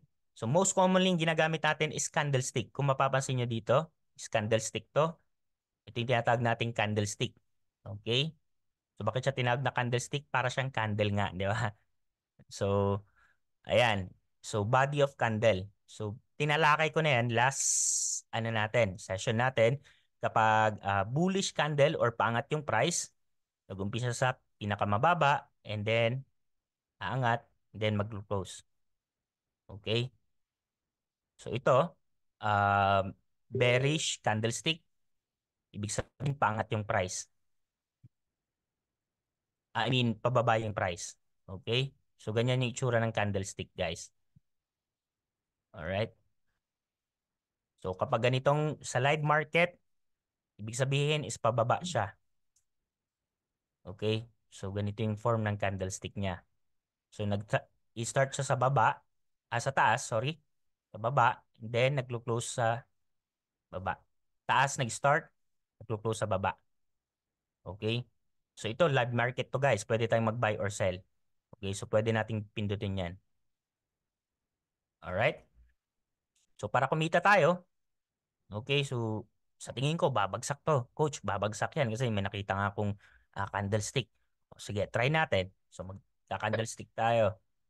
So, maglalagay tayo ng stop loss natin and take profit natin. So, hintay na lang natin yang bumagsak. Okay? So, nag-sell tayo. May stop loss tayo dito sa pinakataas and take profit natin sa pinakababa. Hintayin lang natin siyang bumagsak. Okay? Isa rin yan sa mga strategy na tinuturo ko sa mga student kung paano yung tamang execution. Okay? Kung may nakita tayong mga candlestick pattern, okay, pwede po nating uh, i-apply yan. Okay? As our strategy. Okay? Para kumita tayo. So take note guys, kinikita natin dito dollars guys ha. Okay? Hindi siya peso. Okay, so magkano ba yung palitan ng dollars ngayon? So 55 siya, di ba? Per 1 dollar. So kung mapapansin nyo dito, makikita nyo dito yung profit natin. Ayan, nandyan siya, yung profit natin. Okay, so cents pa yan ng dollars. Okay, so kung tuloy-tuloy yan, bumagsak, umayon dun sa ano na sa sell natin kasi nga nag-sell tayo, magbebenta tayo. All right? Magkakaroon tayo ng profit diyan. Okay? Alright? Okay, yes, uh, ma-access po natin yan um, sa ating Light Finance uh, website. Alright? Pwede tayo makapag-download. Alright? So, ganito yung itsura ng candlestick, guys. Kapag manual trader tayo, ganito yung itsura ng candlestick. Make sure natin na matanda natin and i-take note po natin yan. Alright? So, ang green candlestick is nag-umpisa sa pinaka baba nag-open siya sa pinakababa and then naglo-close siya sa pinakataas. Ibig sabihin is ang momentum ng candlestick is paakyat yung price. Okay? Kapag red candle naman, uh, nag-start siya sa pinakataas and then naglo-close siya sa pinakababa. Alright? And if makikita nyo, yan yung pinakabuntot niya or yung tinatawag na wick or low of the price. Okay, natin trade natin. Alright? So, dalawang klase lang. Red and green candle bullish or bearish candle po yan. Alright, so I hope ma-take note yan. And of course, maraming klase ng candlestick. Okay, so maraming pangalan po yan. Alright, but don't worry, hindi nyo na kailangan siyang i-memorize. Of course, we have a doji na tinatawag which is the neutral uh, candlestick. And the long-ledged doji. Dragonfly, yung price is umangat. Okay, pinupush ng mga buyer yung price pataas. Okay? And of course, the gravestone doji, pinupush naman yung price pababa. And those are neutral candles naman. Okay? And hammer with uh, bullish engulfing. So may mga candlestick pattern tayong tinatawag naman. Okay, so na-reject yung price into the wick, yung buntot ng candlestick. And then, umangat. So may opportunity tayong mag-buy dito. Okay? With our strategy. Candlestick. Okay? Ayun. So naman pala. Alright. And of course, ito, hanging man with a bearish engulfing. So nireject yung price pataas and then bigla siyang bumagsak. Alright, so gusto ko guys is i-apply nyo yan sa inyong uh, ah, MT4 account or I mean MT4 uh, platform using Light Finance or sa trading view. So most commonly ginagamit ng mga manual trader to na gaya ko or sa mga nagte-trade na sa forex market. Okay, just to analyze their uh, uh, analyze their strategy okay sa pagde-trade. Okay, so napaka-importante niyan. Hindi tayo nagba-buy or sell lang. Okay? So dapat ina-analyze natin 'to. Okay? Para magka-profit tayo, consistent and profitable. Okay? All right. So going back, uh, types of candlestick natin dalawa. Okay? Uh, we have uh, bearish and bullish. Okay. So of course guys, uh, sa trend ng market, we have the primary trends and secondary trends which is the bullish and the bearish trend. Ibig sabihin ng bullish trend is paangat yung price and uh, the bearish is pababa yung price na trade natin. Okay? Okay. So, ganun siya guys. So, papakita ko sa inyo. Alright? So let's say ang tinitrade ko is GP, GBP USD. So ibig sabihin, palitan ng uh, British pound into dollars. Okay? So kung mapapansin nyo dito guys sa ating uh, trading view, alright?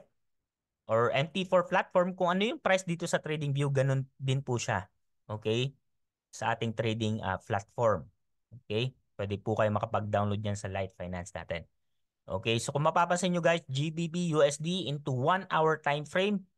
Kung mag-analyze tayo ng trade, tayo mga manual trader, gusto nating gumaling, una nating i-analyze kung saan papunta yung price na trade natin. Okay? So kung mapapansin nyo, GBP USD. So coach, bakit ka nag-plot uh, ng ano mo dito? Um, tawag nating trend line. Okay.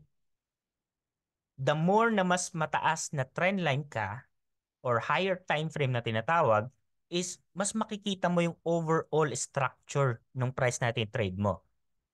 Okay? So kung mapapansin nyo, yung trend line is paangat. Ibig sabihin is nagsisigsag lang siya. Up and down, up and down. So doon tayo sumasabay. Okay, sa volatility ni market. Pero na-identify na natin yung trend line, okay, pwede tayong mag-hold ng position natin dito. Okay? So coach, ano nga, ano nga ba yung uh, strategy yung ginagamit mo sa pag-trade? Since I'm a, a day trader or swing trader, okay, ang una kong in-identify is just the highest and low ng price na trade ko. Okay? Or currency pairs na trade ko. Okay, so GBP USD, na-identify ko na yung trend line.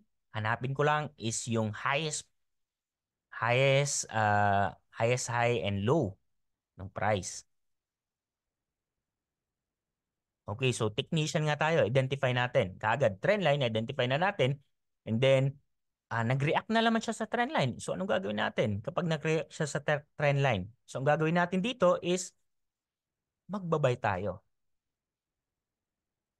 Okay? 'Di ba? Sabi nga sa technical analysis, pinag-aaralan natin yung mga previous uh, forecast or yung galaw. Okay? So pinag-aaralan natin kung mapapansin niyo sa trend line, is may mga certain reaction dito. Diba? So, 1, 2, 3. Hindi, hindi lang umabot. Pero, nagbabounce lang siya sa trend line natin. So, ibig sabihin, may opportunity ako to buy. Okay? So, may opportunity tayo to buy. So, maglo-long position tayo dito. Di ba? Okay? Yung lot size na gagamitin ko. Okay?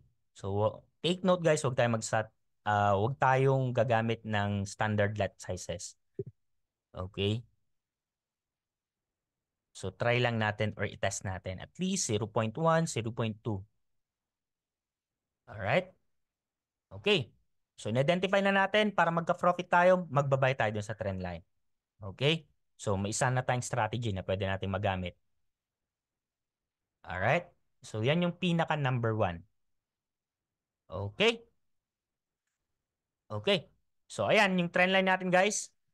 Uh, identify lang natin. Ngayon, ang status ni market dito sa GBP USD, yan yung currency pairs na paborito ko. Pwede kang pumili ng uh, different uh, currency pairs na pwede mong i-trade. Okay? So, nakita ko sa GBP USD is bullish siya. Okay, so may opportunity ako. Alright? Okay, so analyze din natin yung previews. Okay? So bullish turn into uh, I mean bearish turn into bullish. So bearish naman. So yung mga terminologies guys, pwede nyo i-take note yan. Bearish. So ibig sabihin is pabagsak, yung bullish is paangat. Okay? So vice versa lang naman lagi yung nangyari, yan, uh, nangyari sa market. Okay? So yung tinatawag natin na uh, primary trend and secondary trend. So paangat, Okay, paangat, pabagsak. So dalawang klase 'yan. So sumasabay tayo sa volatility ng market. Okay, para mag uh, para kumita tayo. All right. Okay, so next is uh, a trend. Okay, yun yung sinasabi ko sa inyo guys. We have a uptrend which is the bullish na terminologies and downtrend, reversal. Okay, after ng uptrend, may reversal siya, nababagsak. Okay, after downtrend naman, pagod na siya, exhaust na siya. Okay, magre-reverse at magre-reverse. Okay, ang market. Depende sa currency pairs na tinitrade natin. Okay, so number one rule yun guys. Okay, hindi laging pababa. Okay, hindi laging paakyat. Okay, so maghahanap tayo ng mga opportunities using our strategy or technical analysis. Okay? And of course, yung pinaka number one or most commonly na ginagamit ng mga trader, okay, worldwide. So ang daming trader. Okay? So ang tawag sa atin is retail trader. Ibig sabihin nun is maliit lang yung kapital natin. We can start $100. Pwede nating mapalago yun, guys. Okay, mapalaki yung $100 natin if magmamanual tayo. Depende kung ano yung strategy na gagamitin natin. Okay? So right now, we have a support and resistance. So ipapakita ko sa inyo guys yung support and resistance para meron tayong buying and selling opportunities na pwedeng may apply naman. Okay? Alright, so excited na siguro ang lahat. Alright. Okay. So hanapin natin sa GBP USD ulit. Hanap tayo. Okay, hanap tayo sa GBP USD ng support and resistance. Take note guys, pwede nyong mahanap ang support and resistance on any time frame. Ibig sabihin, maraming time frame. Okay? Okay, maraming uh, time frame na pwede nating pagpilian. We have a 1 minute, 3 minute, 15 minutes. Ang tinatawag na higher time frame nag-start sa 1 hour into 4 hours and day and 12 months. Okay, yung lower time frame LTF na tinatawag is nag-start into 1 minute to 45 minutes. Okay? So uh, since swing trader tayo, mas uh, uh, less stressful tayo diyan. Okay? Kapag swing uh, trader tayo. Kapag scalping, nagfo-focus tayo into lower time frame like 1 minute and 15 minutes. Okay? Hit and run strategy. So, inintay lang natin siyang magka-profit. Alright? Okay, so GBP USD, palitan ng uh, pera sa GBP and dollars. Okay, gagamitan natin technical analysis. Technician nga tayo. Hanapin natin yung support and resistance naman dito, guys. Okay? So, ito yung tinatawag nating as support. Okay? So coach, bakit tinawag na support? Okay? Tinawag siyang support dahil siya yung pinakababa ng price and eventually, siya yung nagre-react dito sa support natin. Kung mapapansin nyo, may mga certain reaction, i-plot nyo lang yan sa trading view nyo or NT4 nyo, makikita nyo dito na may mga reaction. Ibig sabihin, dito pa lang sa support na identify na natin, pwede na tayong makapag-buy dyan. Okay? pwede na tayong makapag-buy po dito sa support. Okay? So, alright? So kung pansin nyo, di ba? Support, nag-bounce. Support, nag-bounce. Support, nag-bounce. And support, nag-bounce ulit. So ilang bounces na. Okay? And right now, sa live market, hinihintay lang natin siya mag-bounce. Okay? So magba-bounce siya dito. Hintay lang natin siya mag-bounce, 'di ba? Hindi yung basta-basta tayo papasok. Okay, so maghihin maghihintay tayo dito ng candlestick confirmation which is anong candlestick? Dalawa lang yung candlestick, red and green. Bearish or bullish candlestick. Okay, so maghihintay tayo dito ng green candlestick bago tayo mag-enter. Ang nangyari kasi sa mga manual trader, uh, hindi sila makapaghintay. Okay? Hindi sila makapaghintay ng tamang tempo or timing. Okay? Para tayo kumita, hintay natin na uh, bumagsak sa ating uh, technical analysis sa support bago tayo mag-enter ng buy. Okay? So ilang bounces yung nangyari? 1, 2, 3, 4, 5, 6. So GBP USD yan. Okay? So ilang bounces na? Okay, so Ibig sabihin, sa live market ngayon, sa GBP USD, may opportunity ako na mag-buy dahil magbabounce siya ulit, probably. Okay? Okay. Okay, so best time uh, time frame for scalping Okay, uh, just focus in a lower time frame, 1 minute, 15 minutes until 45 uh, minutes. Okay? Okay, so sagutin natin yung nasa comment natin. Uh, pwede po bang economies, economy sa may ID pa lang mag-trade, hindi pa magaling? Okay, uh, kapag newbie ka, just focus on technical analysis. Next is fundamental analysis. Okay, so tatlong at tatlong klase yan na pinag-aaralan natin. Technical, fundamental, and sentiment sa market. Okay?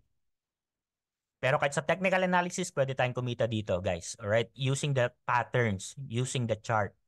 Okay? So, i-analyze lang natin. Okay?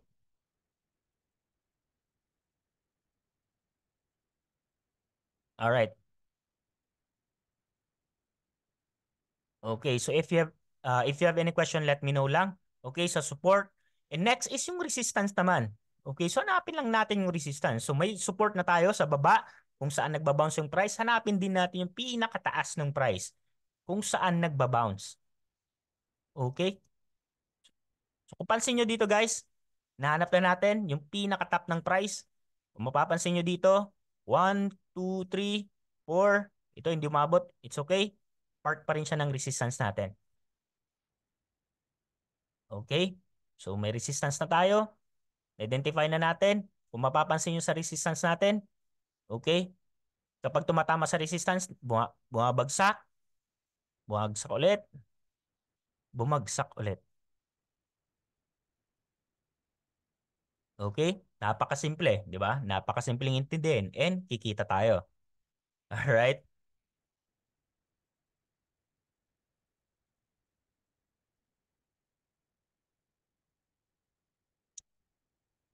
Alright. Okay. So, alright. So, sa support and resistance natin, guys, ayun, um, pwede tayong makapag-buy or sell dito. Okay? Ayun. Alright. So, ayos ba yan? Ibig sabihin, kapag tumama na sa resistance, pwede na tayong mag-sell. Kapag tumama na sa support, pwede na tayong mag-buy. Okay? So madali lang siyang intindihin guys. Okay, so pwede nyong i-apply yan dyan sa MT4 natin or MT5 natin para magka-profit tayo. Okay? Alright. Okay, so support nasa baba, resistance yung nasa pinakataas kung saan nagre-reject yung price. Okay? 1, 2, 1, 2. So, ibig sabihin, kapag tumama na sa resistance, magsisell tayo. Okay? Kapag tumama na sa support, magbabay tayo. Alright? So, vice versa lang yan. So, hanapin nyo lang yan into any time frame. Okay? So, mas magandang hanapin yan sa higher time frame. Alright? So, gets po ba yan? Okay. So, next is the support become resistance and vice versa. Okay, so ipapakita ko ipapakita ko naman sa inyo yung support and become a resistance, guys. Okay, so ibig sabihin itong resistance natin naging support siya. Okay? So lalagay natin dito resistance become support. Hanap tayo dito. Okay? Okay, so para mas madali ito. Okay, so may resistance tayo, uh, resistance tayo guys, yung pinaka-ceiling ng price. Okay, ang nangyari is ito, umangat siya. Okay, itong resistance natin, okay, since na-break out niya or na-break niya yung resistance natin, ibig sabihin is itong resistance natin magiging support naman. Resistance become support. RBS, sabi natin dito. So, RBS na tinatawag. And then, okay, so ito. So, gumawa siya ulit ng another uh, sa resistance dito sa taas.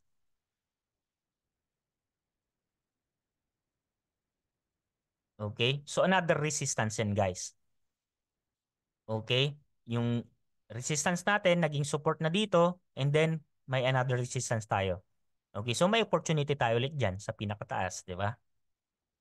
Okay, pero ang goal natin is mag-buy sa support, mag-sell sa resistance. Okay? Alright. So, sa ranging market natin, guys. Okay, so sa ranging market, ituturo ko rin sa inyo yan kung paano tayo makapasok, guys.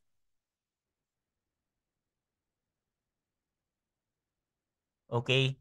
Sa ranging market, ituturo ko tatlong klase ng market. Uh, uptrend, range, and downtrend. Okay? But focus muna tayo sa support and resistance. Alright? Okay, so madali lang siya intindihin, di ba?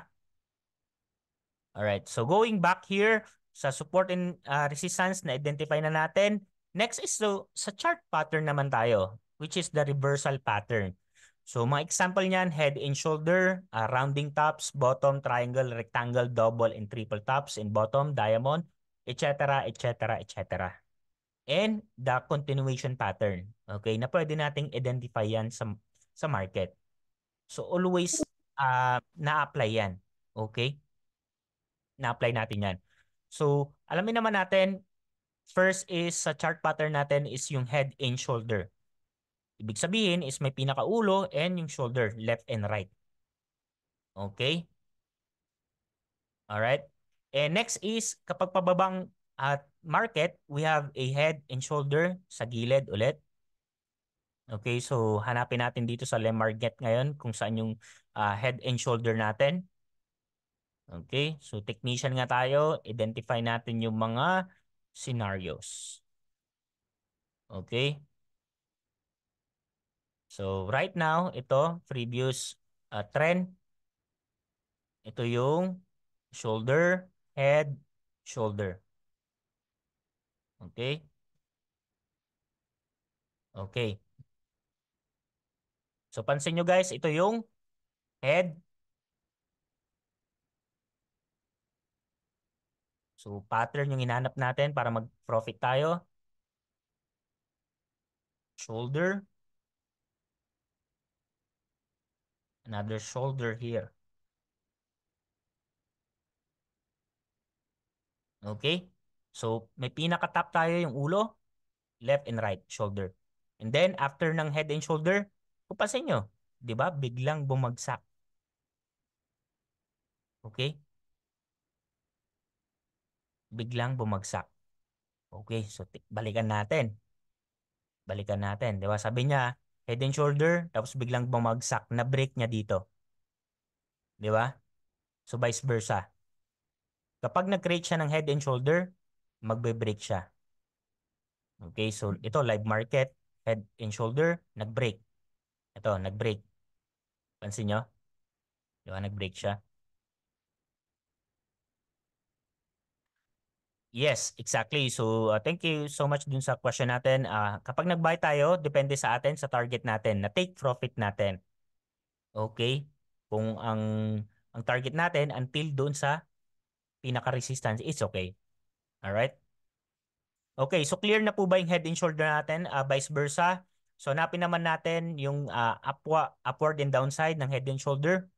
Okay? So, hanap tayo dito. Uh, Okay, yung pinaka-head is yung pinakaangat. Alright. So ito yung pinaka ano ng price, head, shoulder, shoulder. Okay? Okay, head, shoulder, shoulder. Okay, and then biglang umangat. Okay? So kung i-analyze natin na mabuti yung tinitrade nating currency pairs, okay, so may pattern siya lagi. Nag-recreate siya lagi ng pattern. Okay, na pwede nating i-apply. Alright? So gets na po ba yung head and shoulder pattern natin? Okay, so move on tayo dito sa double tops and bottom. Okay, so ibig sabihin ng double tops and bottom, okay, so we have a top na pinakataas and then top 2. Okay, so pareha sila. Equal silang dalawa. Kaya double top and of course double bottom. Okay, so kapag may nakita tayo sa market na uh, bottom 1, bottom 2, sa bottom 2 pwede tayong mag-buy dyan. Okay, dahil nagre-react yung price dyan. Parang support and resistance ah, support and resistance lang siya guys. Okay?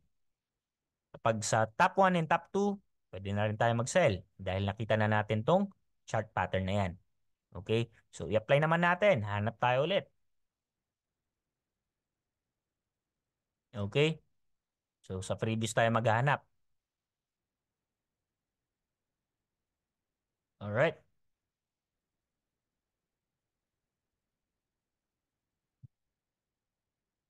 Okay. So, sa 1 hour ulit, tayo nakafocus. Hanap tayo ng pattern ulit. Okay. So, double. Double tap. Sabi niya doon. Okay. So, lalakyan mo lang yung, ano, lalakyan mo lang yung ah, box na ginawa mo. Okay. So, mayroon na tayong double tap. Okay. Anong sabi ulit kapag double tap? Na-identify na natin yung double tap. Okay. Double tap. Ayan. So, meron tayong opportunity to sell. Ang gagawin lang natin is hintayin natin siyang umabot sa double tap natin. Then sell. Ibig sabihin, kapag nag-sell ka dito sa double tap, ayun, nag-profit na tayo kagad. Okay? Ah, so, vice versa. Okay? Double. Bottom naman. Okay, so anong gagawin natin pag double bottom? Mag sell or bye-bye? Of course, mag bye-bye. Di ba? So, nag-profit tayo sa double top and bottom natin using the chart pattern analysis natin. Okay? Alright. Okay. And next is gets na po ba yung double and double uh, double top and bottom natin? All right. So get if gets na natin 'yan, uh, let's move forward dito. Okay, another uh, pattern uh, symmetrical triangle naman. Okay? Kapag may nakita kayong ganyan, uh, mag-create lang kayo ng pattern and then there's a breakout na tinatawag natin. Tinatawag natin. Okay? So, bibigyan ko kayo ulit ng another scenario since hindi ko tinitrade sa GBP USD pero always nagre-repeat yan. Okay, so hanapin natin into one hour, uh, one hour time frame. Okay, so gawa lang tayo ng uh, triangle. Symmetrical triangle. Okay, so kung mapapansin nyo, may breakout. Okay? 'Di ba? So pansin niyo nag-breakout siya. Ascending and descending triangle. 'Di ba? So may breakout lagi 'yan. Okay? So hanapin lang natin. Okay? So applicable 'yan sa ating mga manual trader. Okay? So pansin niyo may mga breakout dito. May mga breakout dun sa ginawa nating uh, ascending triangle. So, ibig sabihin, uh, nag, nag-form siya ng triangle, then biglang bumagsak. Okay, and then may mga breakout. Alright, so gusto ko is ma-identify nyo yan. Mag-analyze tayo ng price natin. Kahit sa demo pa lang, okay yan. Okay, demo. And then pasok tayo dun sa may mga breakout kapag ascending or descending triangle. Okay? Alright. So gets na po ba yan? Alright? Okay, yung sa pennant, yung uh, triangle natin, ayan siya, nagbe-breakout siya in yung flag natin. Ibig sabihin yung flag, commonly flag siya, parang watawat, and then nagbe-breakout siya. So hanapin din natin yan guys, yung mga uh, pattern na yan. Okay? Okay. So unang, unang kita pa lang. Okay. So mag-create tayo ng flag. Okay, so flag. Ano yung sabi sa flag kanina? Parang matawat siya. Yung flag natin. Tapos biglang breakout ulit. Di ba? Ibig sabihin, na-identify ko na yung um, yung uh, flag natin na chart pattern and then biglang umangat. So kung nag-buy ako dito, nagka-profit na naman ako. 'Di ba? So ganun siya para ma-identify natin. Okay, so yung breakout and uh, fake out, dalawang klase po yan. Alright? Okay, so uh, explain ko yung breakout and fake out natin. Alright, so isabay natin since may nagtanong sa breakout natin. Okay, so dalawang klase yan. So let's say may support and resistance tayo, yung binanggit kanina. Okay, uh, ang market nag-up and down dun sa support and resistance natin. And then may sudden Okay, and then may sudden uh, breakout. Okay. So ito yung tinatawag nating uh, breakout. Ibig sabihin is nag-break dun sa support and resistance natin. Okay. So yan yung breakout. Okay. Ang breakout is if tumagos dun sa pinaka-ceiling and pinakababa ng price which is the support and resistance, yung tinatawag na breakout. Ang fake out naman guys is ibig sabihin sa support and resistance nire-respect niya tapos uh, nag-break siya ng konti and bumalik pa rin siya dun sa resistance natin. So yan yung tinatawag na fake out. Okay? So yun tinatawag na fake out. Okay, so sa tingin mo nang magbe-break na siya, bubutasin niya na talaga yung ano no, yung support resistance natin, suddenly biglang bumalik. So nag-fake out siya. Okay? So gets na po ba yan yung All right. So I hope nasagot ko.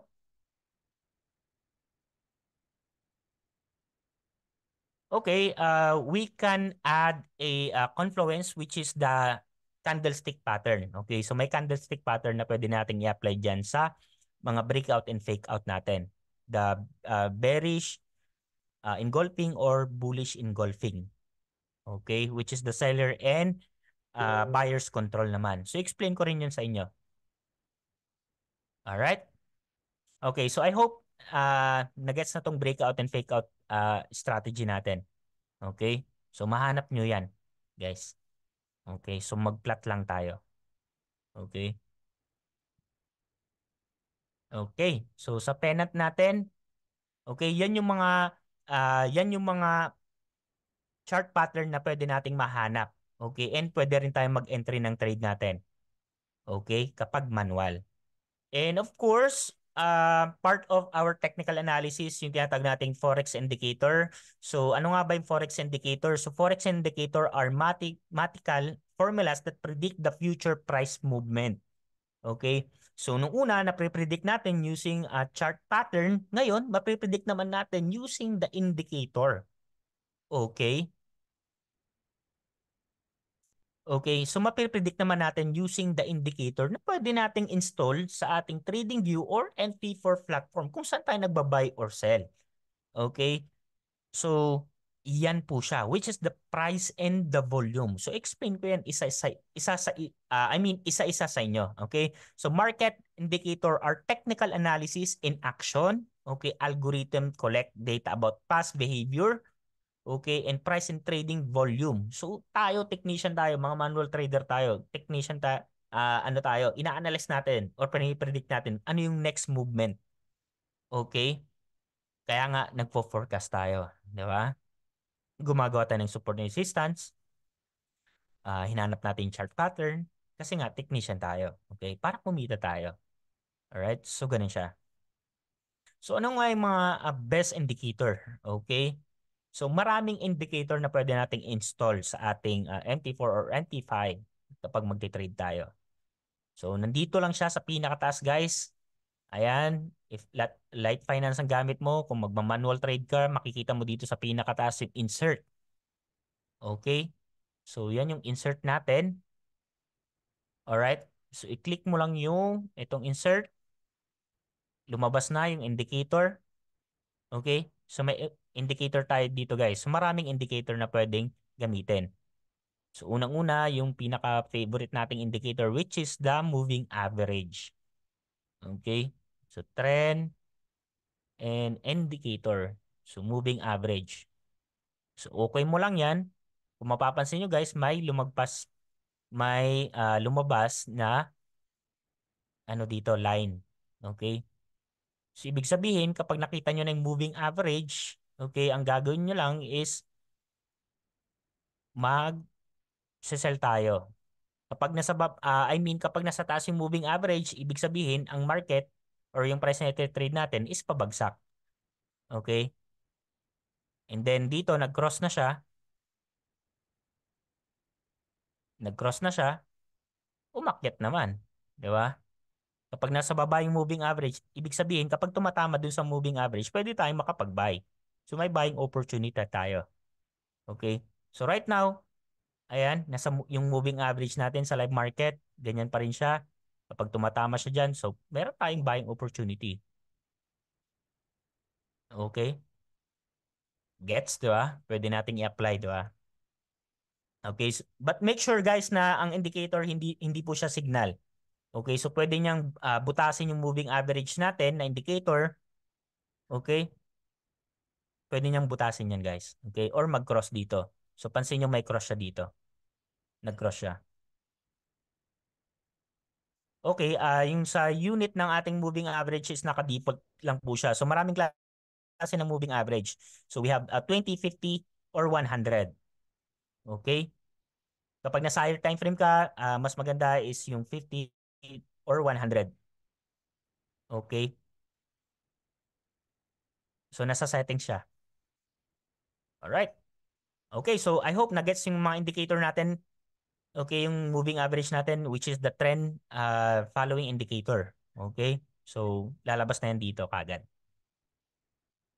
Okay. So, going back here, Okay, trend indicator, escalator, volume indicator or volumes, uh, Bill William indicator. So ang dami pero most commonly ginagamit ng mga manual trader is a trend indicator para ma-identify nila kung saan papunta yung price. Okay? So yun nga, a trend indicator, we are going. Where are we going? Okay?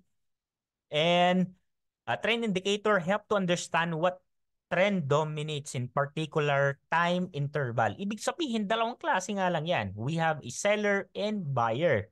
Okay, so ibig sabihin, matche-check natin kung sino yung nagdo-dominate. Is it a seller or a buyer? Okay, kung mas marami yung nag-trade ng, I mean, kung marami nag-execute ng buy, so ibig sabihin is buyer's control. Okay, kung marami nag-sell, ibig sabihin is seller's control. So dalawang klase yan. Okay, so ginagamitan natin siya ng chart pattern, or indicator. Pwede nating pagsama-samahin yun guys. Okay? Para mas marami tayong confluences na tinatawag. Okay?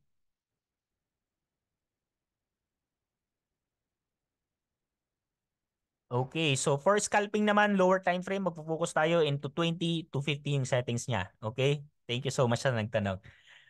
Alright, so focus on uh, lower time frame. And uh, baguhin mo lang yung settings ng yung moving average into 20 to 50. Okay, kung gusto mo naman, i-default mo siya. Alright. Okay, so ganito yung itsura ng ating uh, moving average. Kapag EMA naman na tinatawag exponential moving average, ibig sabihin is pinagsama-sama mo yung tatlong moving average na yan, 50, 20, and 100. Okay, so exponential moving average. Kung pansin nyo guys, Okay, yung exponential moving average natin na pwede nating install sa MT4 natin. Okay? 'Di ba? Sabi ko sa inyo kapag ang moving average is nasa baba, ibig sabihin is paakyat yung price. 'Di ba? Kapag nasa taas naman na ng uh, mga bar, itong candlestick bar natin, ibig sabihin is may opportunity tayo to sell. Okay, so exponential moving average. Iba yung MA, kasi single lang siya. Kapag EMA, tatlo siya na line. Alright, so I hope na gets yan. Okay. So download lang tayo ng MT4 or MT5 natin. Pwede rin MT uh, Trading View. Okay. Alright, so next indicator natin na pwede natin gamitin guys. Okay, may tinatawag tayo yung tinatawag tayong Bollinger Band. Okay, ang Bollinger Band, ganito yung itsura niya guys. Okay? So, explain natin kung ano nga ba siya when it comes to measuring the price volatility of particular security na trade natin or pairs na trade natin. The Bollinger Bands indicator, indicator siya ulit guys, is used to determine the entry and exit point ng trade natin. Kasi hindi nga tayo pwedeng mag-buy or sell lang. Dapat may mga exit point din tayo. Okay? All right. So the best part, okay, uh, this indicator is help to characterize the price and volatility over time of financial instrument. Okay. So right now guys, hanapin naman natin sa MT4 ano natin, platform natin, yung boiler jing ban. Okay, so balik lang tayo sa insert sa pinakataas. Ito, makikita nyo guys. Ito, nasa pinakataas siya. Insert ulit. Okay.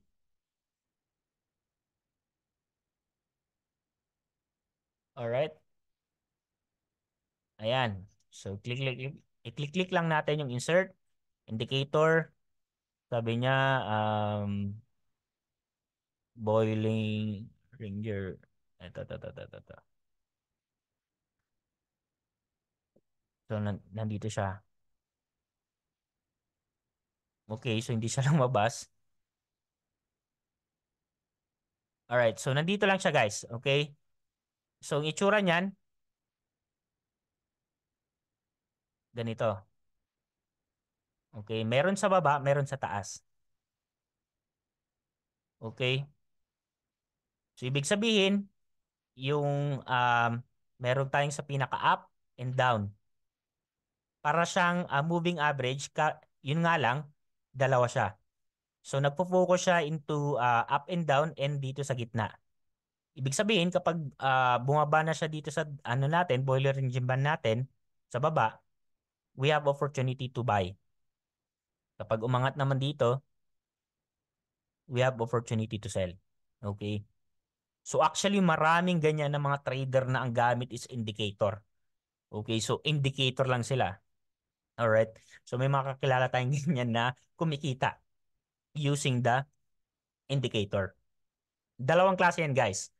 Okay, so mapapanood natin sa YouTube mga maraming strategy. May gumagamit price action lang, hindi sila gumagamit ng indicator. Okay? So ganun yung guys, price price action lang, pure national naked chart strategy. Nagpo-focus lang sila sa trend ng market, yung pinakita ko sa inyo kanina, yung support and resistance, yung ginawa kong trend line kanina. All right? So yun yung tinatawag nating naked chart analysis. Okay? Kapag indicator naman, yung gumagamit tayo or nag-insert tayo ng multiple indicator natin dito sa chart. Para alam natin kung saan tayo magbabay or magsasell. Okay? So, dalang klase yan.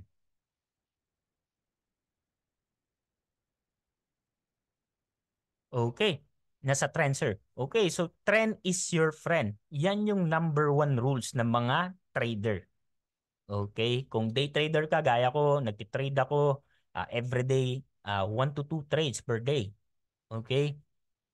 Eh, nakakapag-generate tayo ng income using those strategy, the naked and indicator. Alright? So, pinagsasama-sama ko siya. Okay?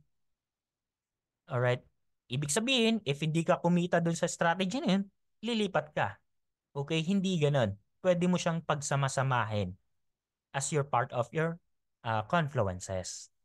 Okay, so kahit anong strategy yan, pwedeng pwede. Ang nagiging mali lang is yung timing, yung patience natin minsan.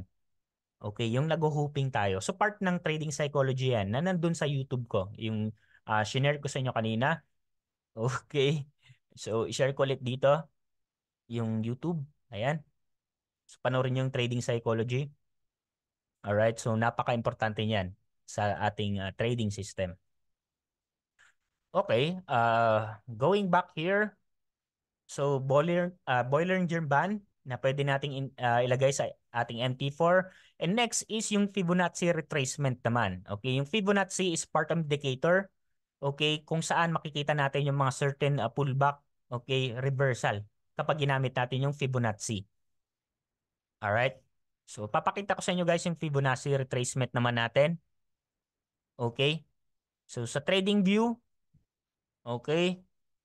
So sa trading view, uh, Fibonacci retracement natin. Ito yung itsura niya. Ito guys. Okay. Sinong gustong ma-master yung trading view? Ituturo ko din yan.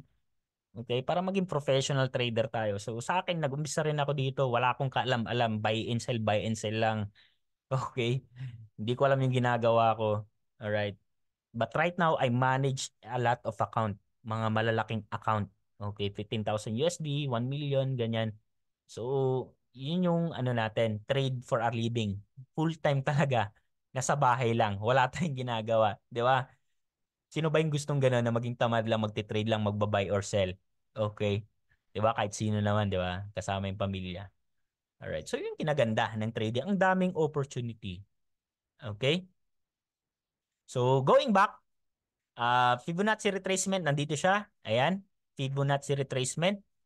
Okay. Ilagay mo lang, default mo lang yan. Okay. Clinic ko yung Fibonacci retracement. Ang gamit ng Fibonacci retracement na indicator, hanapin mo lang kung ang market okay is downtrend, i-plot mo hanggang sa pinakataas hanggang sa pinakababa. Okay? Alright, so 1 hour time frame tayo ulit guys. Okay, kung mapapansin nyo sa Fibonacci uh, retracement, ang pinaka-importante dyan is yung tatlo. Ayan, yung tatlong yan. Yung 0.618, 0.5, 382. Okay, bullish yan ha, bullish trend. Ibig sabihin, kapag tumama na dito, dito sa indicator nating Fibonacci retracement, may mga pullback yan. Okay? So, another uh, strategy na lang na magagamit ko pala, di ba?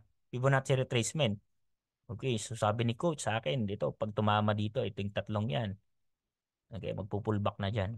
So, tama naman. Kung i-apply natin, tumama siya, di ba? Nag-pullback siya. Di ba?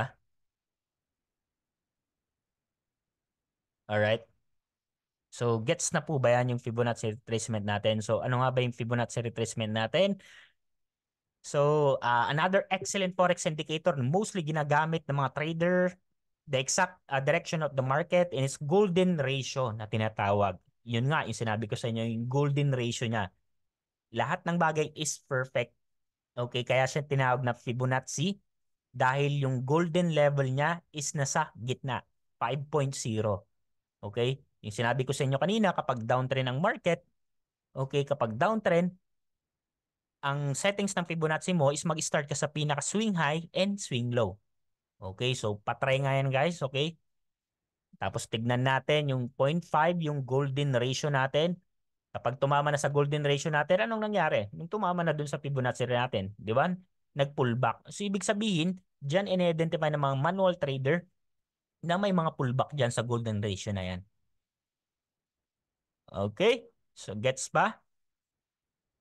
Okay, so sa time frame pwede tayong lumipat-lipat ng uh, time frame natin. Multi-time frame analysis na tinatawag natin, guys.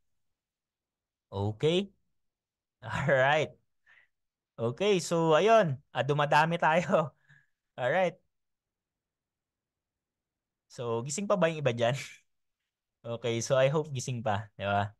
So, marami-rami yan. And then next session natin ulit, talakayin natin, practice and practice tayo para para maging tamad kayo gaya ko, di ba? Yung mag-trade-trade lang, di ba? Nasa bahay lang. Alright. Okay. Okay, but okay, so Fibonacci, done na tayo dito. Indicator yan, mga yan. Uh, moving average. Alright. So next is, doon tayo babalik ulit. Okay, sa smart uh, sa naked price strategy, which is hindi gumaga hindi tayo gumagamit ng indicator. Okay? In-identify lang natin yung uh, swing high, low, support and resistance. Okay, ito na yung pinaka-favorite ng mga newbie trader or even experienced trader na holy a great strategy. Okay? Smart money concept. Okay? Ayos ba yan? Okay, so lagi natin tatandaan guys na napakaraming strategy na pwede nating matutunan sa YouTube. Okay?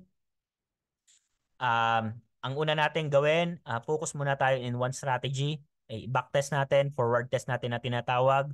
Tignan natin if nagpo-profit tayo, kung mataas ba yung uh, winning percentage natin. Okay, and then kapag uh, mababa yung winning percentage natin into demo, try another strategy. Okay? Pero wag mong kakalimutan yung unang pinag-aralan mong strategy dahil pwede mo siyang may, dadag, may dagdag. Okay? Ayos ba? Uh, suggest TP until ang, ang magiging uh, ah, TP natin and SL natin lagi kapag umabot ng golden ratio dun sa Fibonacci natin um, at least 30 to uh, 20 pips. Okay? I mean 20 to 30 pips. Okay? Dapat mas maliit yung uh, SL natin. Okay? And yung target natin, TP natin, 'di ba nga, sabi nga natin 20 to 30, ibig sabihin mag-adjust tayo ng number 40 to 60. At least mas malaki yung TP natin. Okay? Yes, um, yung recording po natin, mapapanood nyo po yan sa ating uh, YouTube video uh, kay Ma'am Lady. Alright? So, recorded po ito. Alright? And pwede siyang may post dun sa Telegram. Okay, so smart money concept. Okay, smart money concept. Excited na tayo dito. So ano nga ba yung smart money concept? Uh, trading strategy, uh, pinakasimpleng strategy and mabilis nyo lang siyang matutunan. Pwede siyang ma-apply sa ating uh, technical analysis at ma-add sa confluences natin. Okay? So saan nga ba nagpo-focus ang uh, smart money concept? Nagpo-focus siya sa supply and demand, support resistance technique, yung pinakita ko sa inyo kanina guys. Okay? And uh, of course, some of the basics uh, terminologies siya. Okay? Para hindi na tayo manunod ng ibang uh, YouTube video. Explain ko na lang siya ng mas simple. Okay? Alright. So yun nga, kanina guys, in-explain ko sa inyo kanina is yung uptrend and downtrend. Dalawang klase lang naman yan. I mean, tatlong klase yan. So we have uptrend, pataas yung price, and yung nasa gitna, yung nagre-range lang. Ibig sabihin ng nagre-range, okay, kapag nagre-range, hindi siya pangat, hindi siya pababa. Okay? Nasa middle lang siya. Okay? So, ganun yung range. Okay? So, tawag dyan, range. Dagdag natin dyan. Okay? So, para kumita tayo, mga manual trader, na gaya ko, okay, and kumita monthly, alright? So, identify lang natin kung saan papunta yung price. Is it uptrend or downtrend or range? Okay, so wag tayong enter kapag range ang market. Ibig sabihin yan, low volume. Okay, walang buyers and seller. Kakaunti. Okay? Alright? Okay. So, gets na po ba yan? Uptrend and downtrend? Okay. If mapapansin nyo dito guys, dito sa pinakababa natin, yung tinatawag na uh, expansion and retracement. Okay. Ibig sabihin ng expansion is nag-expands. Uh, I mean, expansion, ibig sabihin is lumaki yung trading volume. And retracement is yung tinatawag nating mga minor in uh, minor pullback na tinatawag. Yun yung R. E, malalaking candle yan. So, uh, ex, ano yan, malaking candle yan. So, papakita ko sa inyo. Okay, kapag uptrend naman. So, papakita ko sa inyo uh, sa GBP USD ulit kung may masuggest kayong uh, currency pairs na gusto nating i-trade. Okay, so marami tayong pwedeng may trade na currency pairs. Okay. Okay. Ayan. So, uptrend siya guys, di ba? Uptrend. Okay. So, kung mapapansin nyo, yan yung tinatawag na expansion. Expansion. Kasi nga, nag-expand yung price, buyer's control. Okay, expansion siya. Okay, then, pagkatapos ng expansion, lagi yan. Okay, lagi yan guys nangyayari. Okay, pagkatapos ng malalaking candlestick, buyer's control, ang nangyayari dyan, may uh, retracement siya lagi. Nagpapahinga yan. Napapagod din siya. Parang ano rin natin. Uh, parang Joel din natin. Napapagod, diba? Retracement. Okay, so ano lang. Hindi, hindi. Okay. So, expansion and retracement. Okay, so nagpapahinga lagi yung market. Okay, after nung mahababang uh, uptrend niya or downtrend niya. Okay, okay? so nagre-retrace siya. So another scenario, papakita ko sa inyo, ganyan siya, nag-retrace siya, and expansion, ganyan, retrace ulit, expansion. Okay.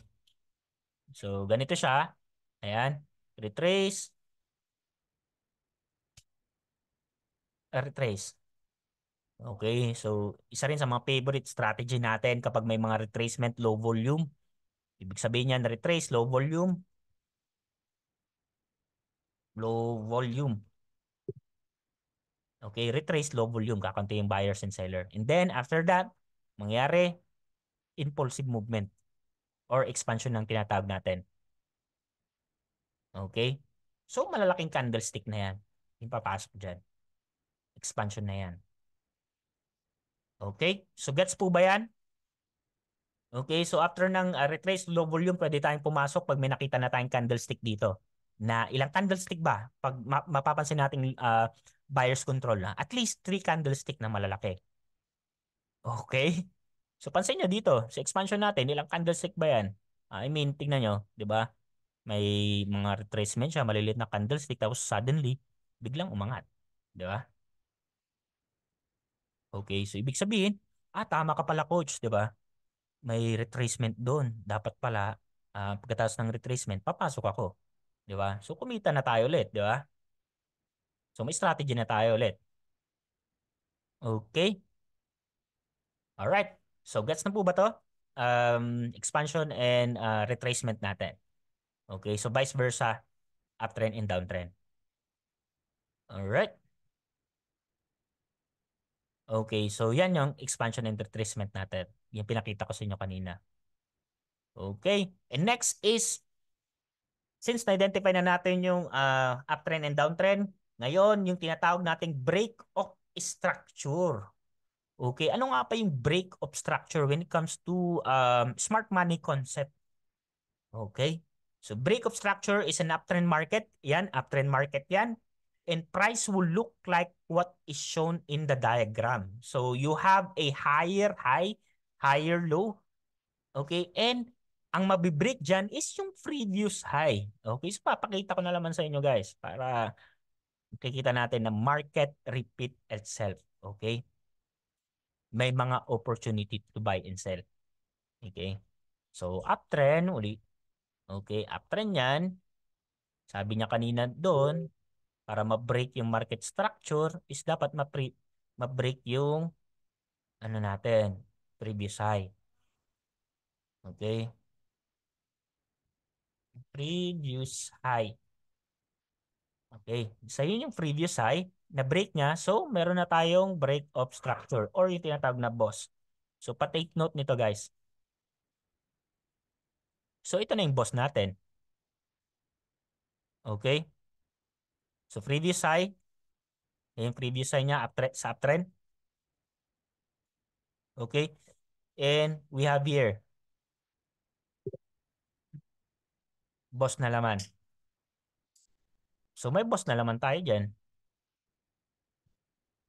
Okay, ibig sabihin ng boss or break of market structure. Okay, na-break niya yung previous high natin dito. Yung mga previous high natin. Bakit siya na-break yung previous high? Kasi nga uptrend siya. Okay? So, ibig sabihin, kapag may nakita na pala ako dito sa na-break niya yung previous high, okay, kung mapapansin nyo, i-zoom natin, okay, na-break niya, ibig sabihin, there's a lot of buyers here. Kasi nga, buyers control. Okay? So, na-break niya. Pero ang momentum pa rin ng market is paangat. So saan lang siya dit saan lang siya nag-break? 'Di ba? Uptrend tapos nag-break na siya. Okay, so apply ko ulit kanina yung tinu tinuro mo sa akin coach na expansion and retracement. 'Di ba sabi ko nga kanina, 'di ba, pag may nakita kayong uh, retracement, low volume retracement, ah uh, uh, ito, ito, ito, ito. So, lipat natin siya diyan.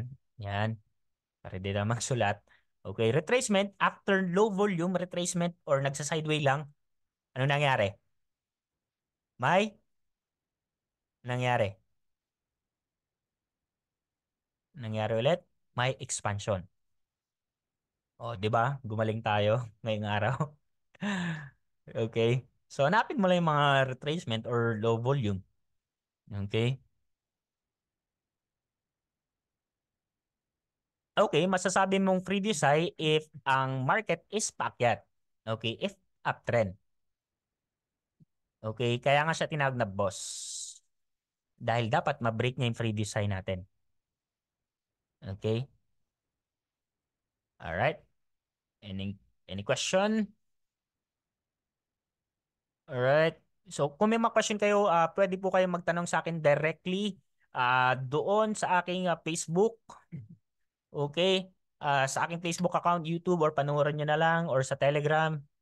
Okay? Basta hindi tayo busy, masasagot ko po yan.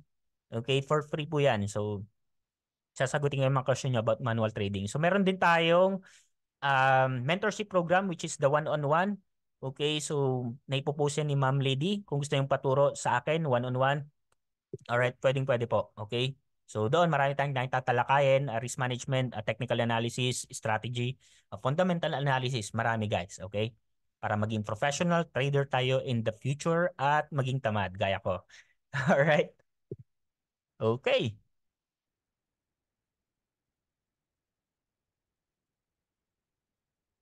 Um, may tutorial ako, pwede kong isend. Uh, I hope makapag-reply kagad ako. Alright?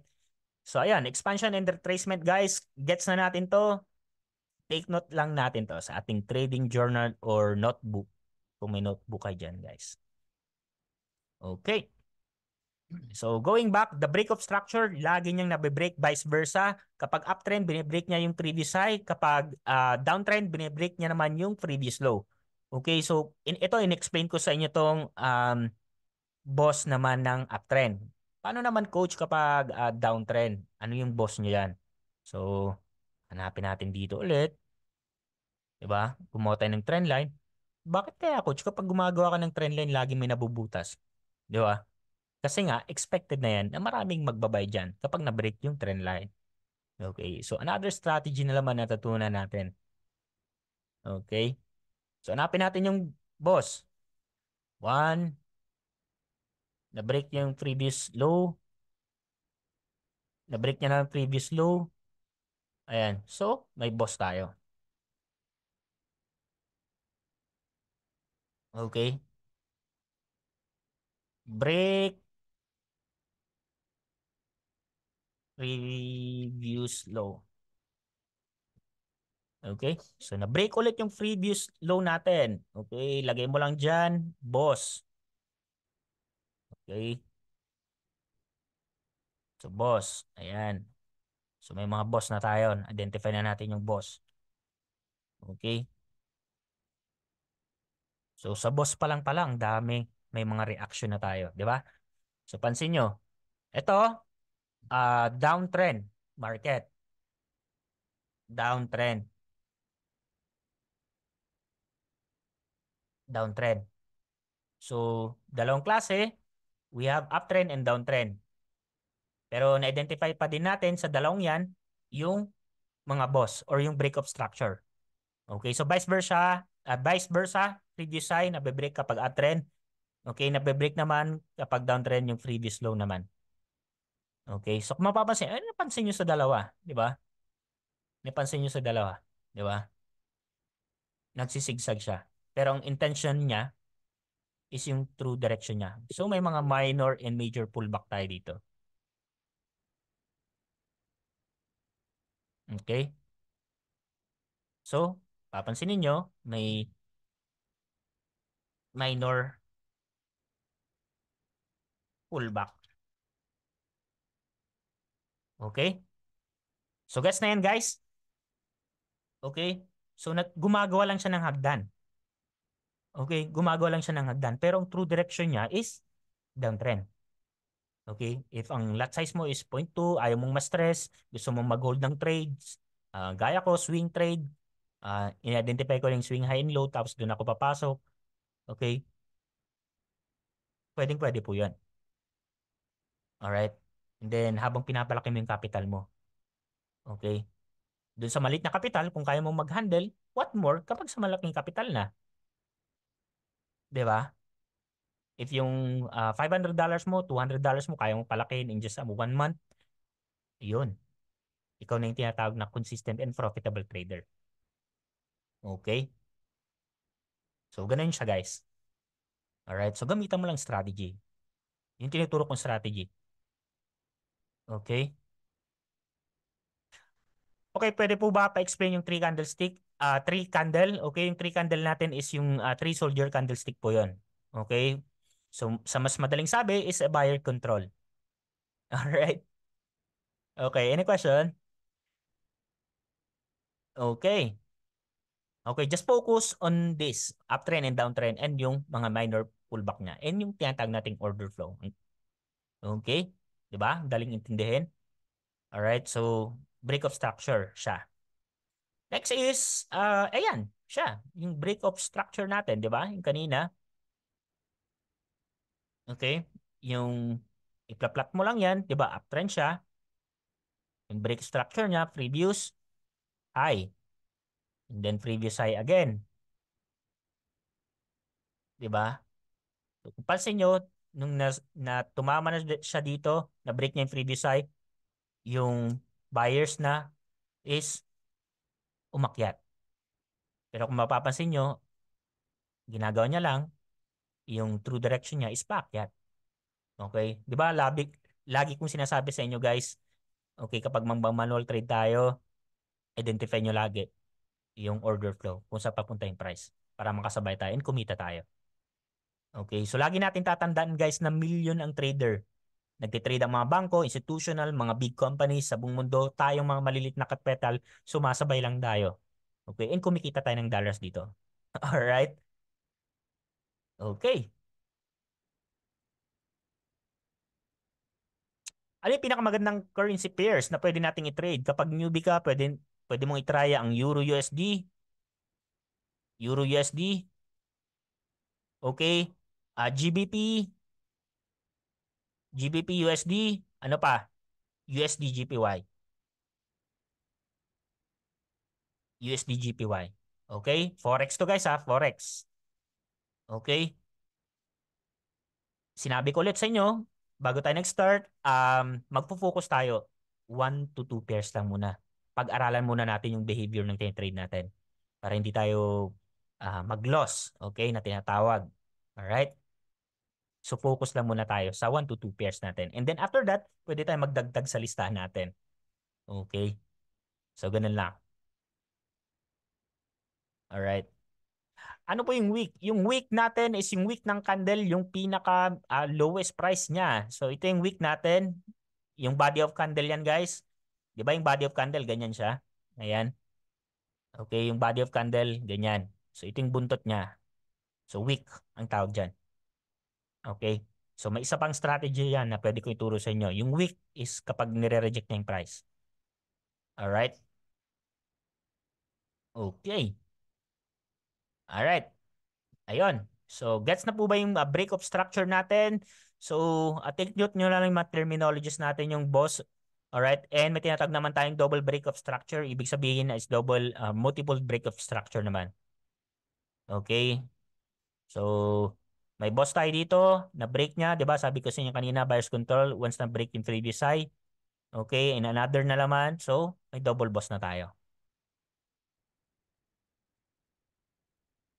Yung guhit sa candlestick. Yes, exactly. Yun yung katawan ng candlestick. Okay, so dalawang klase lang yan. Yung candlestick, may red and green. Alright. Okay.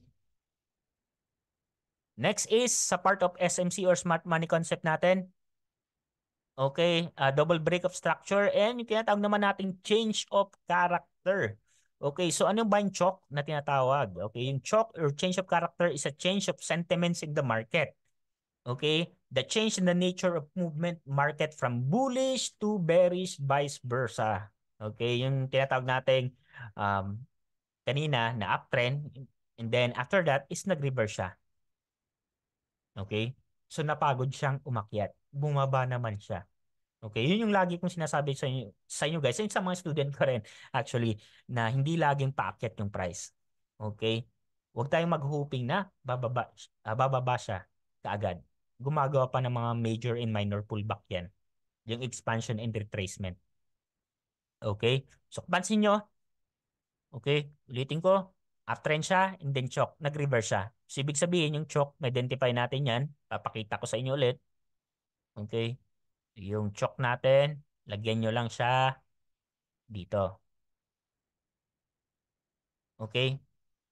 Okay, so downtrend, saan yung chalk na, naman natin dito? 'Di ba sabi nga natin, ang rules, kapag downtrend, nag-reverse siya, dapat may chalk or change of correction or change of character. Okay? Yung kanina, yung character niya is uh, downtrend siya. Ang magiging character niya naman ngayon is mag-uptrend siya. Kasi pagod na siya. Di ba? Pagod na siyang bumagsak. Gusto niya umakyat. So, paano natin nahanapin yan? Dito. So, yan yung chok natin. Ayan. So, may chok na tayo. So, nag-reverse na siya. Okay? So, di ba kapag break of structure, nabe-break niya yung mga previous low and high? Okay, ito, hindi niya na na-break yung previous low natin. Nag-shift na siya into uptrend. Okay? And kung pag-aaralan natin mabuti yung behavior ng currency pairs na trade natin, dito nag-range na siya. So may ranges na siya dito.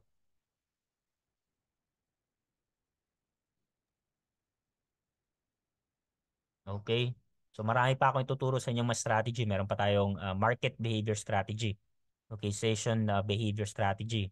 Weekly strategy. Okay, so focus focus lang tayo sa manual trading. Gagaling din tayo, guys. Okay, so sa akin start ako dito zero knowledge talaga ako. Wala akong kalamalan, pinag-aralan ko siya, nagpa-mentor din ako sa mga kilalang mentor. Okay? So So kahit wala akong kapital, kahit mali lang kapital ko, kaya ko siyang i-flip. Okay? Or palakin yung kapital ko. Okay? Kasi nga, manual trader ako. Okay? So, sa mga gustong maging future uh, professional trader dito, pwedeng pwede. Okay? Yung maging tamad. Okay. Um, question kay Sir Ken. Ano, ano ba yung advantage and disadvantage ng manual trading if may bot nang ginagamit for auto trading? Okay, ang bot or EA na tinatawag natin is yung robot is nag-trade siya 24 hours. Okay? Depende sa strategy na nakaprogram sa kanya. Let's say ang strategy ko is yung uh, ah, SMC. Pwede ko siyang i-program into SMC. Doon siya papasok sa SMC na mga break of structure, chop, or downtrend, or trend line. Okay, so nagde-trade ang robot para sa'yo 24 hours. Okay? Ang manual trading naman is tayong tao mismo yung nagte-trade ng sarili nating kapital Okay, ang advantage and disadvantage po nun. Okay, ang trading, uh, ang bot is nagtitrade bato lang siya ng bato. Wala siyang emosyon. Ang manual trading is may emotion po siya. Okay, kaya mostly kapag hindi ka pa magaling, okay, tapos nag-manual trading ka, ang mangyari possible kasi is mag-loss ka. Alright. So ganun siya. And sa bot naman is may tinatawag naman tayo is bato lang siya ng bato. Wala siyang pakiramdam. Ang robot nagtitrade yan 24 hours. Depende sa strategy na nakaprogram sa kanya.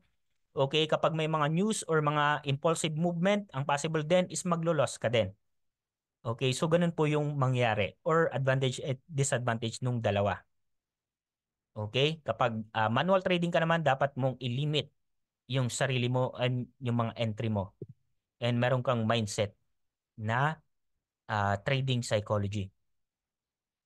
Okay?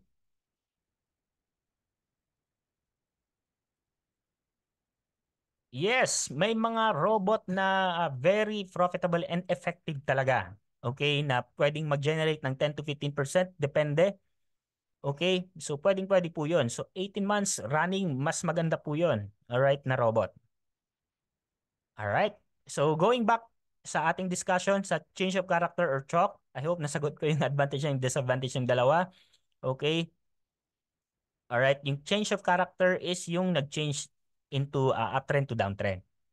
Alright, I hope na-gets po yan. So, ito siya. Okay. So, kung mapapansin nyo guys, uptrend, nag-create siya ng higher high. Ibig sabihin, yung pinaka-higher high ng price kapag uptrend and yung higher low, yung pinakababa ng price. Okay. So, hanap tayo ulit dito. Hanap ulit tayo dito, analyst natin dahil ang market paulit-ulit lang yan. Okay?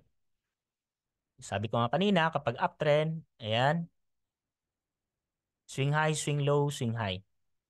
So sabi niya kanina dito sa ano natin, HH, higher high, higher low. So ibig sabihin, hanapin ko nga yung higher high natin. Higher high, higher low.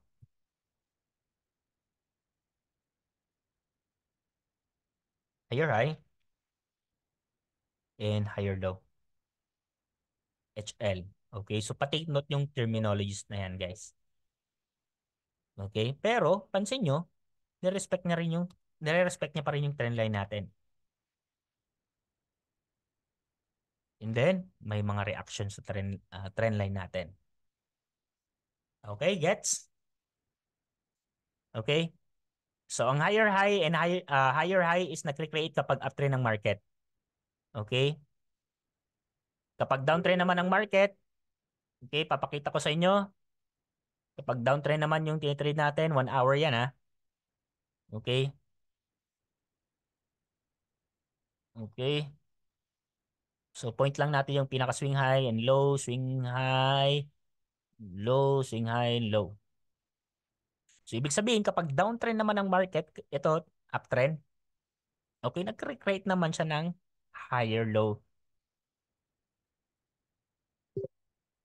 Higher low.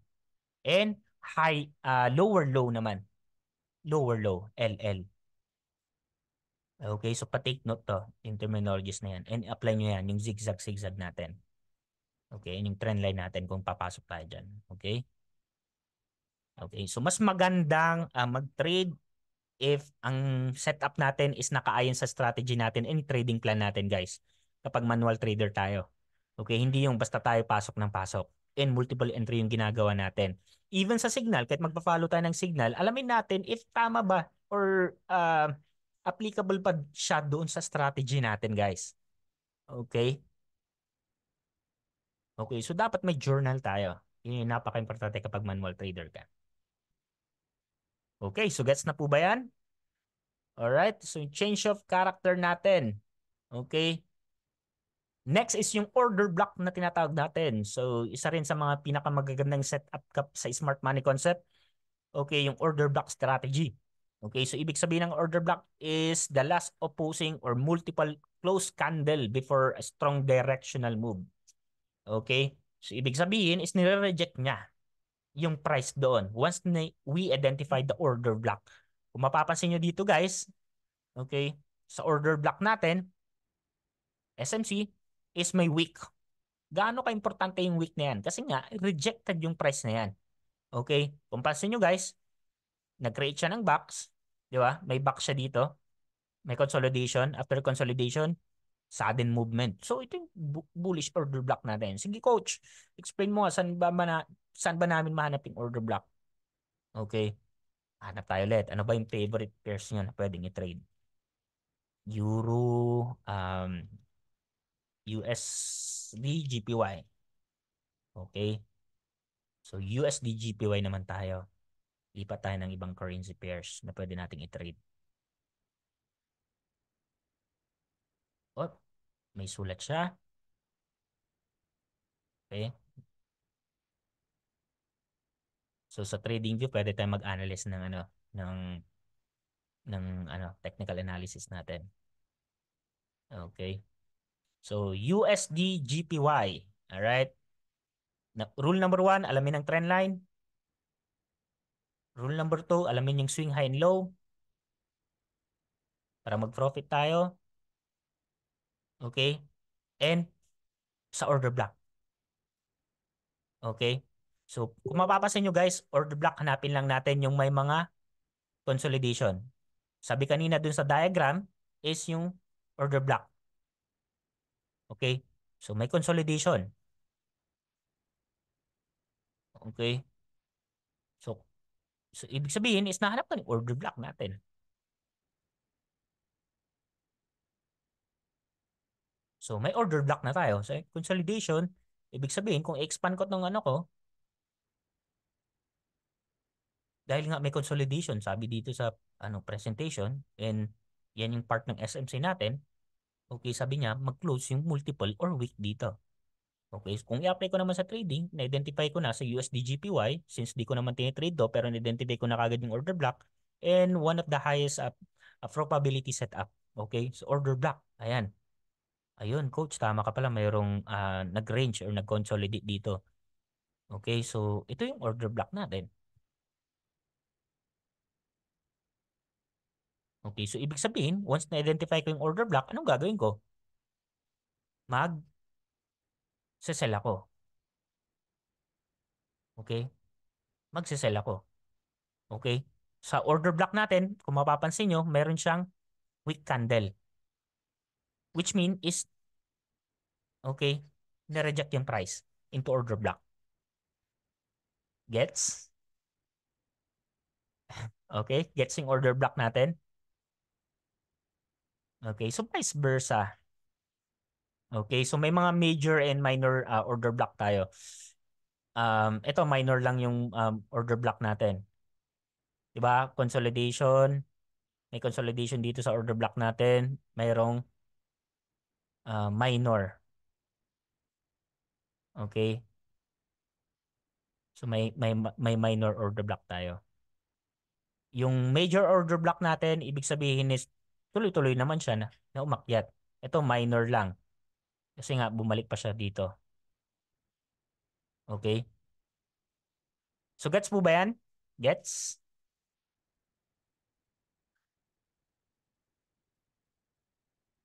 Okay, um, paano gawin ng technical analysis before tayo magti-trade? Okay, so actually guys, we have a three major session which is the Asian session, uh, London session tuwing hapon yan dito sa Pilipinas and New York session tuwing gabi po yan. Okay, so ano yung best time to trade? Maganda mag-trade is tuwing gabi or New York session. Okay, nagko-cross ang London and New York session dahil mas volatile ang market sa oras na yon. So ganitong oras is volatile si market po. Okay. So before ka mag-entry ng setup mo, uh, naglagay ka ng tatlong pairs na gusto mong i-analyze, ganun yung gawin mo. Okay? So every 30 minutes a day, okay, pwedeng pwede po yun. Kahit hindi ka mag-focus. Okay? Basta ni-identify mo lang yung mga tinuro ko sa'yo. Okay, yung mga tinuro ko sa inyo na technical analysis. Mag-analyze ka muna before ka mag-enter ng buy or sell entry mo. And hanapin mo yung pinaka-best setup kung wala sa setup mo, huwag kang mag-trade. Probably kasi ano mangyari dyan is mag-loss ka. Okay, yan yung number one rules natin kapag manual trader ka. Alright? So maraming manual trader sa buong mundo guys, okay? So nag so may mga mentor din yan, may mga pinaghirapan din nila yung pag-aaral nila sa trading. Okay? So sa akin pinaikli ko lang para mas madaling intindihin. Okay? Alright. Okay, so gets na po ba yan? Alright, yung order block natin. Okay, i-apply nyo yung boss, order block. Okay, choke natin. Lagyan nyo ng mga pangalan. Okay, hanggang sa memorize natin lahat yan. Okay, kung hindi mo pa ma-memorize, ulitin mo lang to. Itong recorded session natin. Okay, para ma-explain. Okay, So next is yung tinatag nating uh, EOI or area of interest sa smart money concept. There's a area where expect the price will react hen and has the possibility to reverse the direction. Okay? So yan yung tinatag nating area of interest or EOI. So hanap naman natin dito sa chart natin yung EOI natin. Okay? Okay? So itong order block natin, pwede siya maging EOI. Okay? Para lang siyang support and resistance natin. Okay, so ang EY natin dito. So USD GPY live market tayo ngayon. Okay. Pwede itong EY natin. Okay, so area of interest. No possible na mag pullback. Okay. Okay. So yan yung EY natin. Okay. Gets na po ba yan? Uh, take note in terms natin na EOI. Okay, dyan expect ng mga manual trader na magre-reverse dyan sa area nan or magbabounce. Kaya sa tinag na EOI. Okay. And next is yung imbalance na tinatag natin. Okay, so imbalance is an area of unequal market moves where the, there are only buyers or only sellers exist in the market. It is inefficient or unhealthy price action. It shows disequilibrium between buyers and uh, sellers. Ibig sabihin is hindi balance. Okay, dalawang klase nga sa market. We have the buyers and sellers. Okay, kapag may nakikita kayong ganito, ibig sabihin yan is a buyer uh, seller's control yan. Okay, kapag may nakita kayong candlestick na ganyan, okay, na-identify nyo, yan yung imbalance natin. Okay, ang yung imbalance na yan, pwedeng maging strategy din yan dahil pag may nakita kayong imbalances na dyan na seller's control, ibig sabihin, i-fill niya yan. I-fill niya yung order na yan para maging balance. Okay? Kaya nga siya tinawag na imbalance. Okay? So, nag-create lang siya ng mga small candle pero i-fill niya yung order na yan na seller, na sell. Okay? So, apply naman natin. Coach, apply mo na naman, apply na naman natin. Okay? So, hanapin natin dito yung mga imbalances. Okay? Yung imbalances, guys, ito, di ba? Sabi ko sa inyo, imbalance.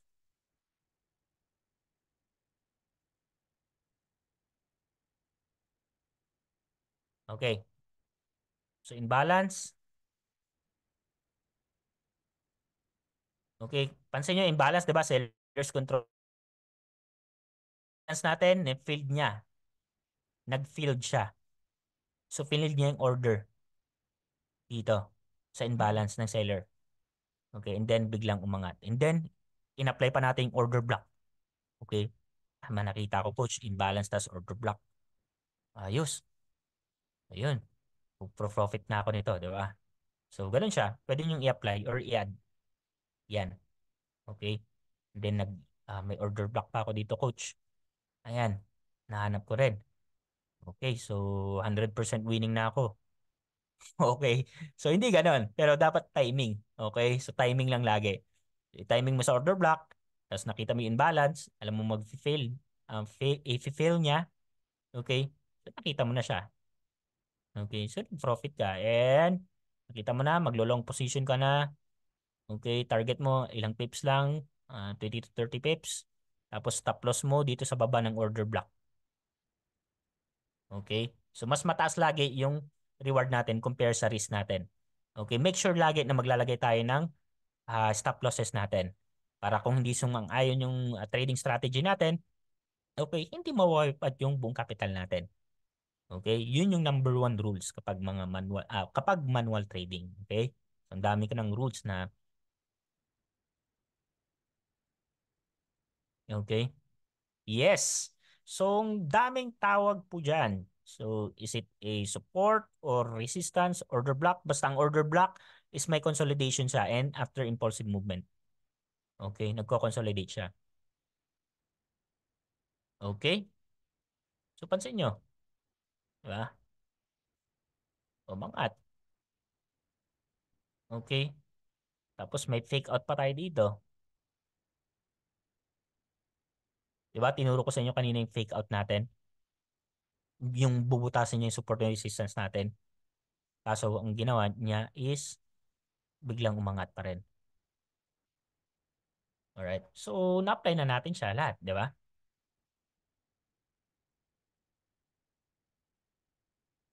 Alright. Okay. So ayan, at tapusin natin yung uh, iba dito. Okay, sa smart money concept.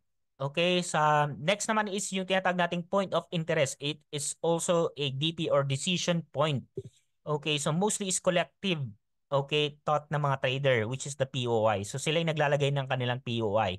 So yung POI natin pwede siyang uh, maging support and resistance or um, support and resistance order block. Okay, so POI ibig sabihin is yung uh, decision point ng mga trader, mga manual trader.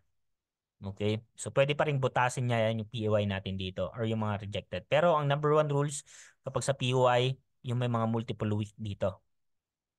So, yan yung valid POI natin na tinatawag. Okay? So, lagyan nyo lang ng mga sulat yung mga yan.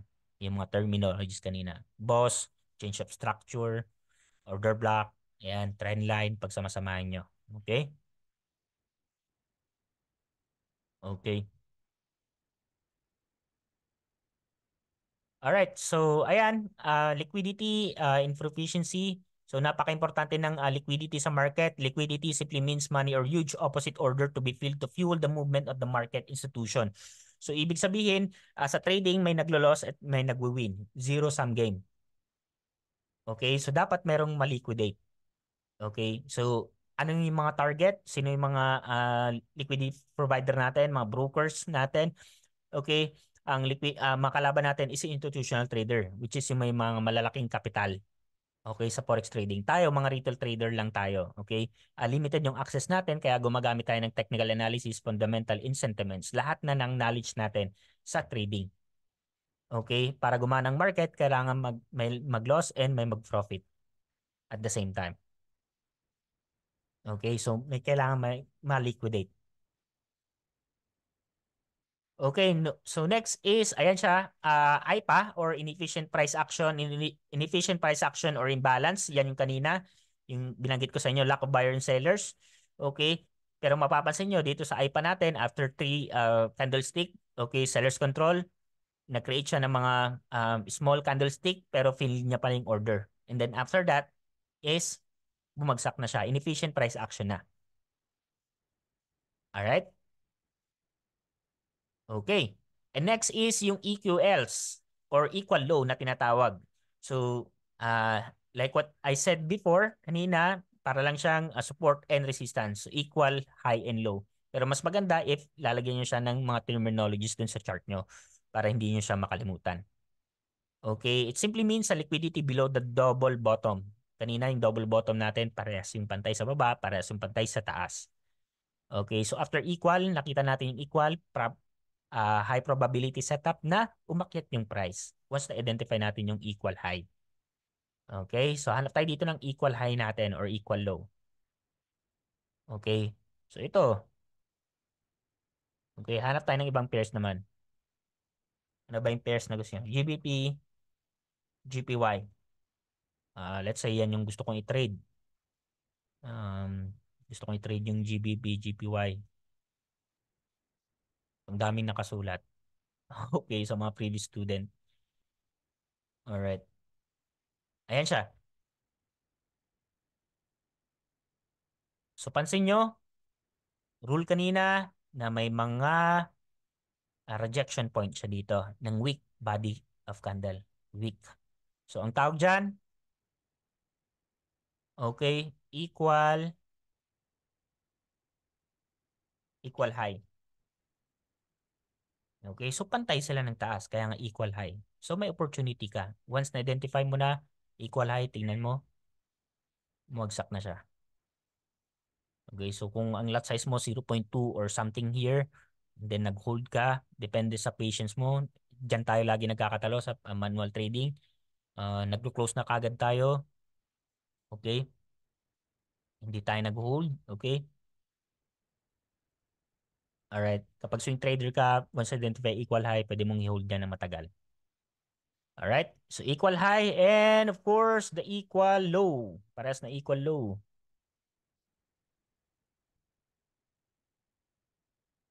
Okay. EQL. EQLH. Sabi nga equal low. Okay. So dalawa lang yan. Alright. So sagutin naman natin yung ano, Yes, nagre-range exactly, 'di ba? Uh, nabanggit ko kanina is uh, dalawang klase ng market, uptrend and yung range. Kapag range, identify na natin kagad na low volume. Okay. Okay, so hindi natin kailangan magaling sa technical analysis. Okay, ang kailangan lang natin is patience and timing. And of course, yung strategy natin gagamitin. Okay, and yung risk management. Let's say nakita mo ng equal high and low, ang ginawa mo is nag one standard lot ka sa, dahil ito perfect strategy ko. Sinasabi um, ito perfect. Tama yung tinuro sa akin ni Coach Alex. Um 100% sabi niya. Okay wala akong sinabi. Okay pero high probability setup. So pwedeng pwede po yan. Okay at least reduce your lot size. Okay yun po yung ibig sabihin natin Okay, once identify the equal high, equal low, the support resistance, just to backtest muna. Backtest mo muna, okay? Use at least uh, one lot size, one to two trade per day, okay? Or if wala kang magandang uh, trade sa isang uh, linggo, it's okay. At least hindi siya loss, okay? So kasama na rin yung mindset natin doon, okay? Mina-mindset na rin natin, okay? Alright? Okay, so equal low, equal high, equal low, gets na natin yan. Alright, so vice versa, equal high, ganyan siya. And napaka-importante is yung supply and demand in forex trading. Okay?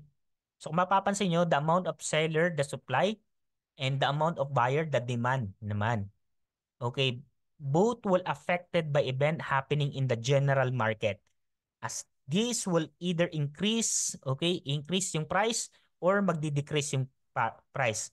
Okay? Depende sa number of people.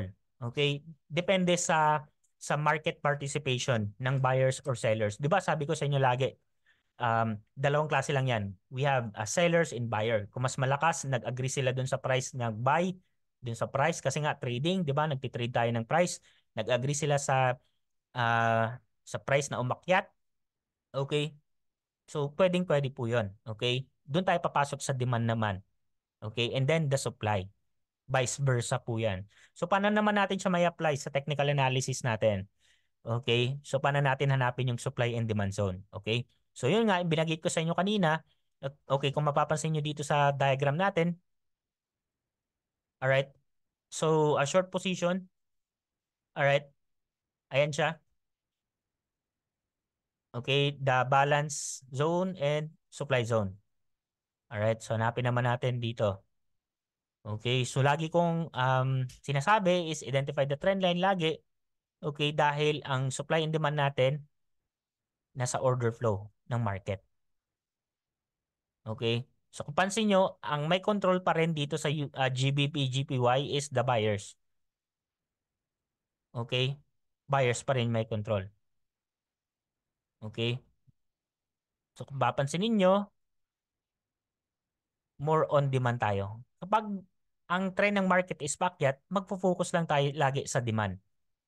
Okay? Dahil ganyan yung nangyari. Ito yung demand zone natin. So, dalawang klaseng demand zone natin. Demand zone, demand zone, demand zone. So, demand zone natin to.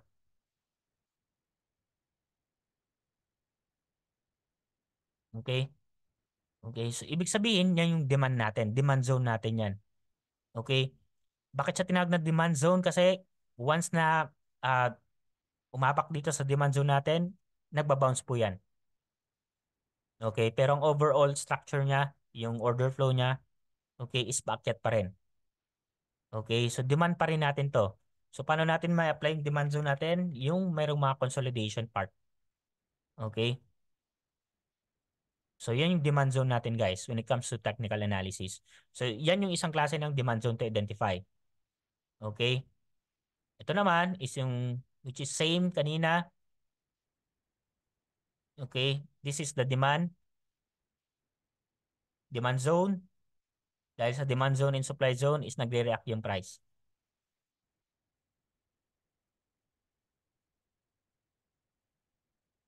Okay? So up and down siya, guys. So nag-agree yung uh, seller. Okay? Kapag sa supply, nag-agree yung uh, seller to drop the price. And kapag once tumama sa demand zone is nag-agree yung mga buyers to increase the price. So ganun lang siya guys, lagi. So dalawang klase siya, yung supply and demand zone natin. Okay? Kapag order flow naman, lagi may range dito. Okay? Pansin nyo guys, i-zoom natin. After consolidation, lagi number one rule, after consolidation, nagre-range yung market. Ganito siya. Ganyan siya. Di ba? Ganyan siya, umakyat. Umakyat ulit, nag-range. Ganyan. Ito yung mga demand zone natin. So, ipla-plot mo lang siyang okay ng pahaba. Okay? So, vice versa sa supply and demand. Okay? Um, okay. Sa supply naman, uh, vice versa lang din. Okay? Kapag uptrend, uh, kapag downtrend, hanapin mo lang yung may mga range dito. Yan, supply zone natin yan. Supply zone na laman natin yan.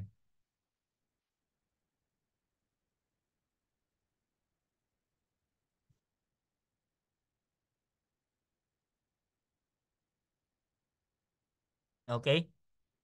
Alright, so pansin nyo yung supply zone natin guys, may consolidation. Yan yung lagi kong um, um, inuulit-ulit, yung may mga retracement lagi dyan. After retracement kasi may impo sudden impulsive na dyan na mangyari. Okay? follow the order flow. Okay? Kung i-apply mo naman yung indicator kanina, yung moving average natin, yung exponential moving average, ganyan din yung kakalabasan niya. Ibig sabihin is trend following uh, trader tayo. Okay? So applicable to sa mga swing trader. Okay, so sa mga scalping naman, uh, hit and run strategy nagpo-focus dahil mas noisy kapag nasa lowest time frame tayo. Okay, pwedeng nag-entry tayo ng 0.1, 0.2, okay, up and down, up and down lang siya. Ibig sabihin, kapag nag-blue ka na, exit mo na yung trade mo and then another na laman. So bibilangin mo lang yung win and loss mo.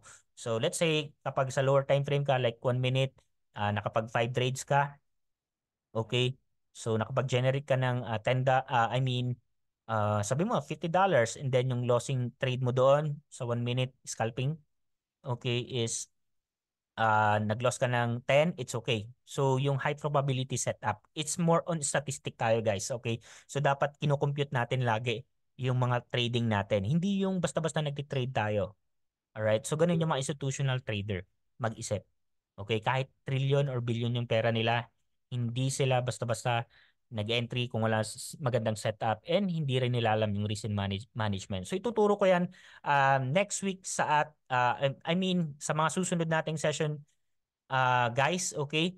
So mahirap sa umpisa, um, medyo mahirap, okay? Pero mapag um, ang masasabi ko lang is keep on learning guys, okay?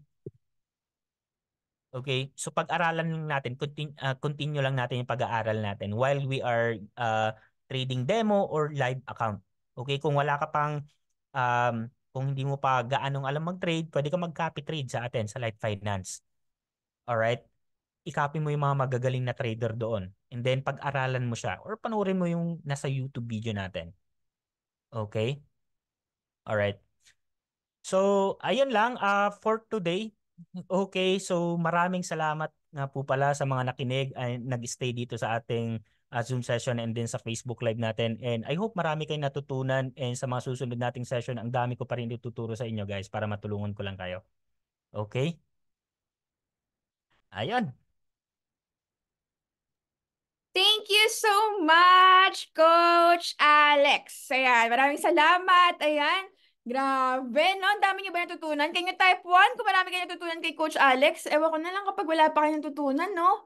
Kasi sayang naman yung laway ni Coach Alex, kasi wala naman pala kayo natutunan. so I hope punong-puno tayo ng knowledge ngayon. I know info overload to sa inyo, lalo na sa mga beginners natin. Pero I'm pretty sure na talagang, ano, eventually, pag talagang ipapractice lang natin, i-apply natin yung mga natutunan natin, then definitely, you will become a profitable trader. And itong skill na to, you will be able to earn from this kahit mag-retire ka na, kahit na kahit na mag-stop ka na magtrabaho, kahit mag-resign ka na, or kahit kung OFW ka o uwi ka na sa Pilipinas, this skill na meron ka, nag-trade ka, will definitely help you na maging profitable or mag makuha mo yung financial freedom mo. Yes, we have recorded webinar and don't forget guys na mag-register uh, kayo dito sa ating Light Finance account. And but by the way guys, meron palang one-on-one -on -one session si Coach Alex. So kung gusto nyo i-avail yung manual trading class niya, na talagang madidiscussan kayo, talagang matututukan kayo, mamentoran kayo, masasagot lahat-lahat ng mga tanong nyo, eto, mag-register na po kayo for only 11,000 pesos. Kaya sobrang sulit naman na kayo dito kasi 8-week session na po yan, tapos dalawang session per week, tapos 30 to 45 minutes per session. So sobrang, guys, I think sobrang sulit na nito. Kasi lahat ng tanong masas masasagot na yun ni Coach, Al ni Coach Alex. Kaya I hope guys na ma-consider nyo po. Mag-join po kayo sa Telegram natin. We have here the Telegram. So don't forget na mag-join kayo dyan para po ma-update namin kayo. Uh, Lu Estavilo, go lang. Sige, mag-join ka po sa Telegram natin para ma-update ko kayo and ma-send ko rin yung recorded uh, webinar natin para pwede nyong balik-balikan in case naman nakalimutan kayo. Kaya maraming salamat guys and uh, bigyan ko lang kayo ng onting uh, briefing lang sa pag-open ng account. So, uh, just nilagay ko sa may ano, dyan sa may, ang tawag dito? May nilagay po ako dyan sa may, uh, sa may webinar chat, yung link na yan, yan po yung gagamitin nyo. Itong Light Finance Registration link, okay? Yung Light Finance Registration link, i-click nyo lang po yan and then you will be landed on the Light Finance, appli uh, Light Finance uh, account, okay? Light Finance website pala, sorry. So, ito po yung website ng Light Finance. I-click nyo lang tong start na to and then, mararedirect na po kayo dito. Maglalagay lang po kayo ng details nyo, date of birth, email address, and mag-register lang po kayo dito. Okay? Ganun lang po kadali. Tapos po, kailangan nyo po i-verify. Guys, take note, bago po kayo mag-fund ng account nyo ha, bago mag-fund, okay? Laging tandaan, na dapat verified yung account. Okay? Kasi guys, mahihirapan kayong mag-withdraw kapag po hindi verified yung account nyo. So make sure na verified po yung account nyo. So ito po yung makikita nyo sa Light Finance account and then punta lang po kayo dito sa may ano, sa profile nyo. My profile and then andito po yung verification. Ayan po. Okay, meron pong verification dyan. I-upload nyo lang po yung inyong email, ay, yung ano nyo, uh, identification uh, ID nyo tapos yung proof of address nyo. So, kailangan green po lahat yan. Ito pong Islamic account application, pwede rin po kayo mag-apply nito para po swap free po kayo. Meaning ng swap free, yung mga overnight trades nyo, hindi po kayo ma-charge dyan. I-fill in nyo lang po yan once na verified na po kayo lahat. So, bago kayo mag-fund. So, pag mag-fund po kayo, i-click nyo lang tong finance, and then, marami pong option dyan kung paano kayo mag- mag-deposit. So, for as low as 2,800 pesos, pwede na po kayo mag-deposit dito. Just make sure na verified po kayo, okay? Pwede nyo pong gamitin yung, uh, say for example, itong promo code, meron po tayong promo code dito, vlog. So, pag ginamit niya po yan, magkakaroon po kayo ng bonus na uh, 50%. Tapos, i-continue nyo lang po yan, guys, and then confirm. Tapos, marami po kayong options dyan. Yes, pwede pong GCash. Ito po yung gagamitin nyo, e-wallet po. And then may GCash dyan, may GrabPay, may ShopeePay, may CoinsPH. So, available po lahat yan. For banko naman, ayan, may RCBC, Union Bank, BPI. Kapag mga ano naman, cash payment, available din po tayo dito sa mga over-the-counter BPI, China Bank, BDO, marami po dyan. You can also pay sa 7-Eleven using EasyPay. Okay? M. Luwilier, pwede rin. Palawan po, Pawn Shop, pwede rin. Robinsons, SM, sa Buwana Luwilier. Sobrang daming options nyo na pwede kayong magbaya, I mean, mag, mag-fund. Okay? So, ganun lang po siya, guys.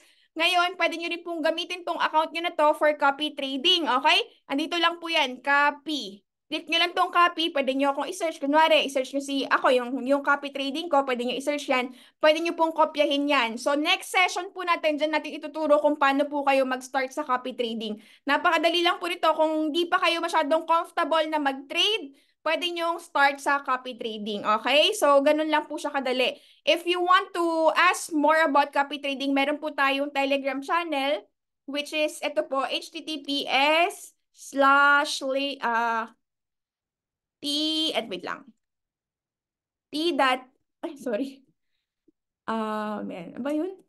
t dot me slash FX Lady TG. Okay? So, mag-join kayo sa Telegram natin para matutunan naman kayo sa copy trading. Sa copy trading, mangongopya kayo ng mga magagaling na traders. Okay? So, sa akin, pwede nyo akong kopyahin. Ito po yung sa akin. And so far, maganda po yung ating portfolio. Profitable naman tayo for the past 7 months. So, I guess, enough to, to, to, ano, to entice you, of course, na i-copy nyo rin yung mga trades ko. And meron na po tayo dyang 186 na copy traders. Okay? So, pwede nyo pong kopyahin yan para at least po habang nag-aaral kayo mag-manual, marunong din kayo mag-copy trade. Pwede nyo i-check yung ano natin, profitability chart, saka portfolio. Makikita nyo yung mga open trades ko dyan para malaman nyo. Pwede nyo rin po yan i-login sa MT4, okay? For the MT4 naman, para ma-login nyo sa MT4, kailangan po kukuha, gagawa po kayo ng account nyo sa MT4.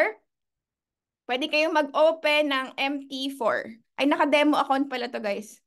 Pwede kasi kayong gumawa din ng demo account. I-click nyo lang to guys, oh. Demo account or active real account. Sa demo account, pwede kayong mag-practice doon ng ano nyo, ng mga ng mga ano nyo, trading trading yung mga tinuro sa inyo ni Coach Alex, pwede kayong mag-practice dyan sa demo account nyo. Pero for copy trading, you need real account and then uh, pag funded na po yung account nyo, then that's the time na pwede na po kayong i-login yan sa ano, sa MT4 nyo. So in my case, ito yung MT4 ko, pwede ka mag-open ng another MT4 mo uh, classic, tapos uh, pwede mong piliin 1 is to 1,000 na leverage, tapos open trading account. Okay? Pag na-open mo na yung trading account mo, kailangan may pondo po yan. Internal transfer mo na lang yan from here kasi nandito lahat ng mga accounts mo. Okay? Para naman malogin mo yan sa MT4 mo, kailangan mo lang click tong settings and then nandito na po yan. Ito yung server, tapos mag-change ka lang ng trader's password, tapos ilagay mo lang tong Light Finance Classic 2 or Light Finance Classic doon sa MT4 mo. Mag-download ka lang ng MT4. Okay? So, yung MT4 is available naman yan sa App Store tsaka sa Play Store. So, so far, clear naman po guys lahat. Can you type CC kung clear naman po? Type CC kung clear o tulog na. Naku po, tulog na nga po ata.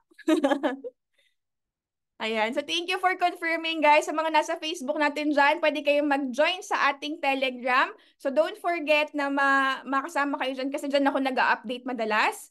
So, nakakapag-join na ba kayo sa Telegram, guys? Can you type 1 kung naka-join na kayo sa Telegram? Type 1 kung naka-join na kayo sa Telegram.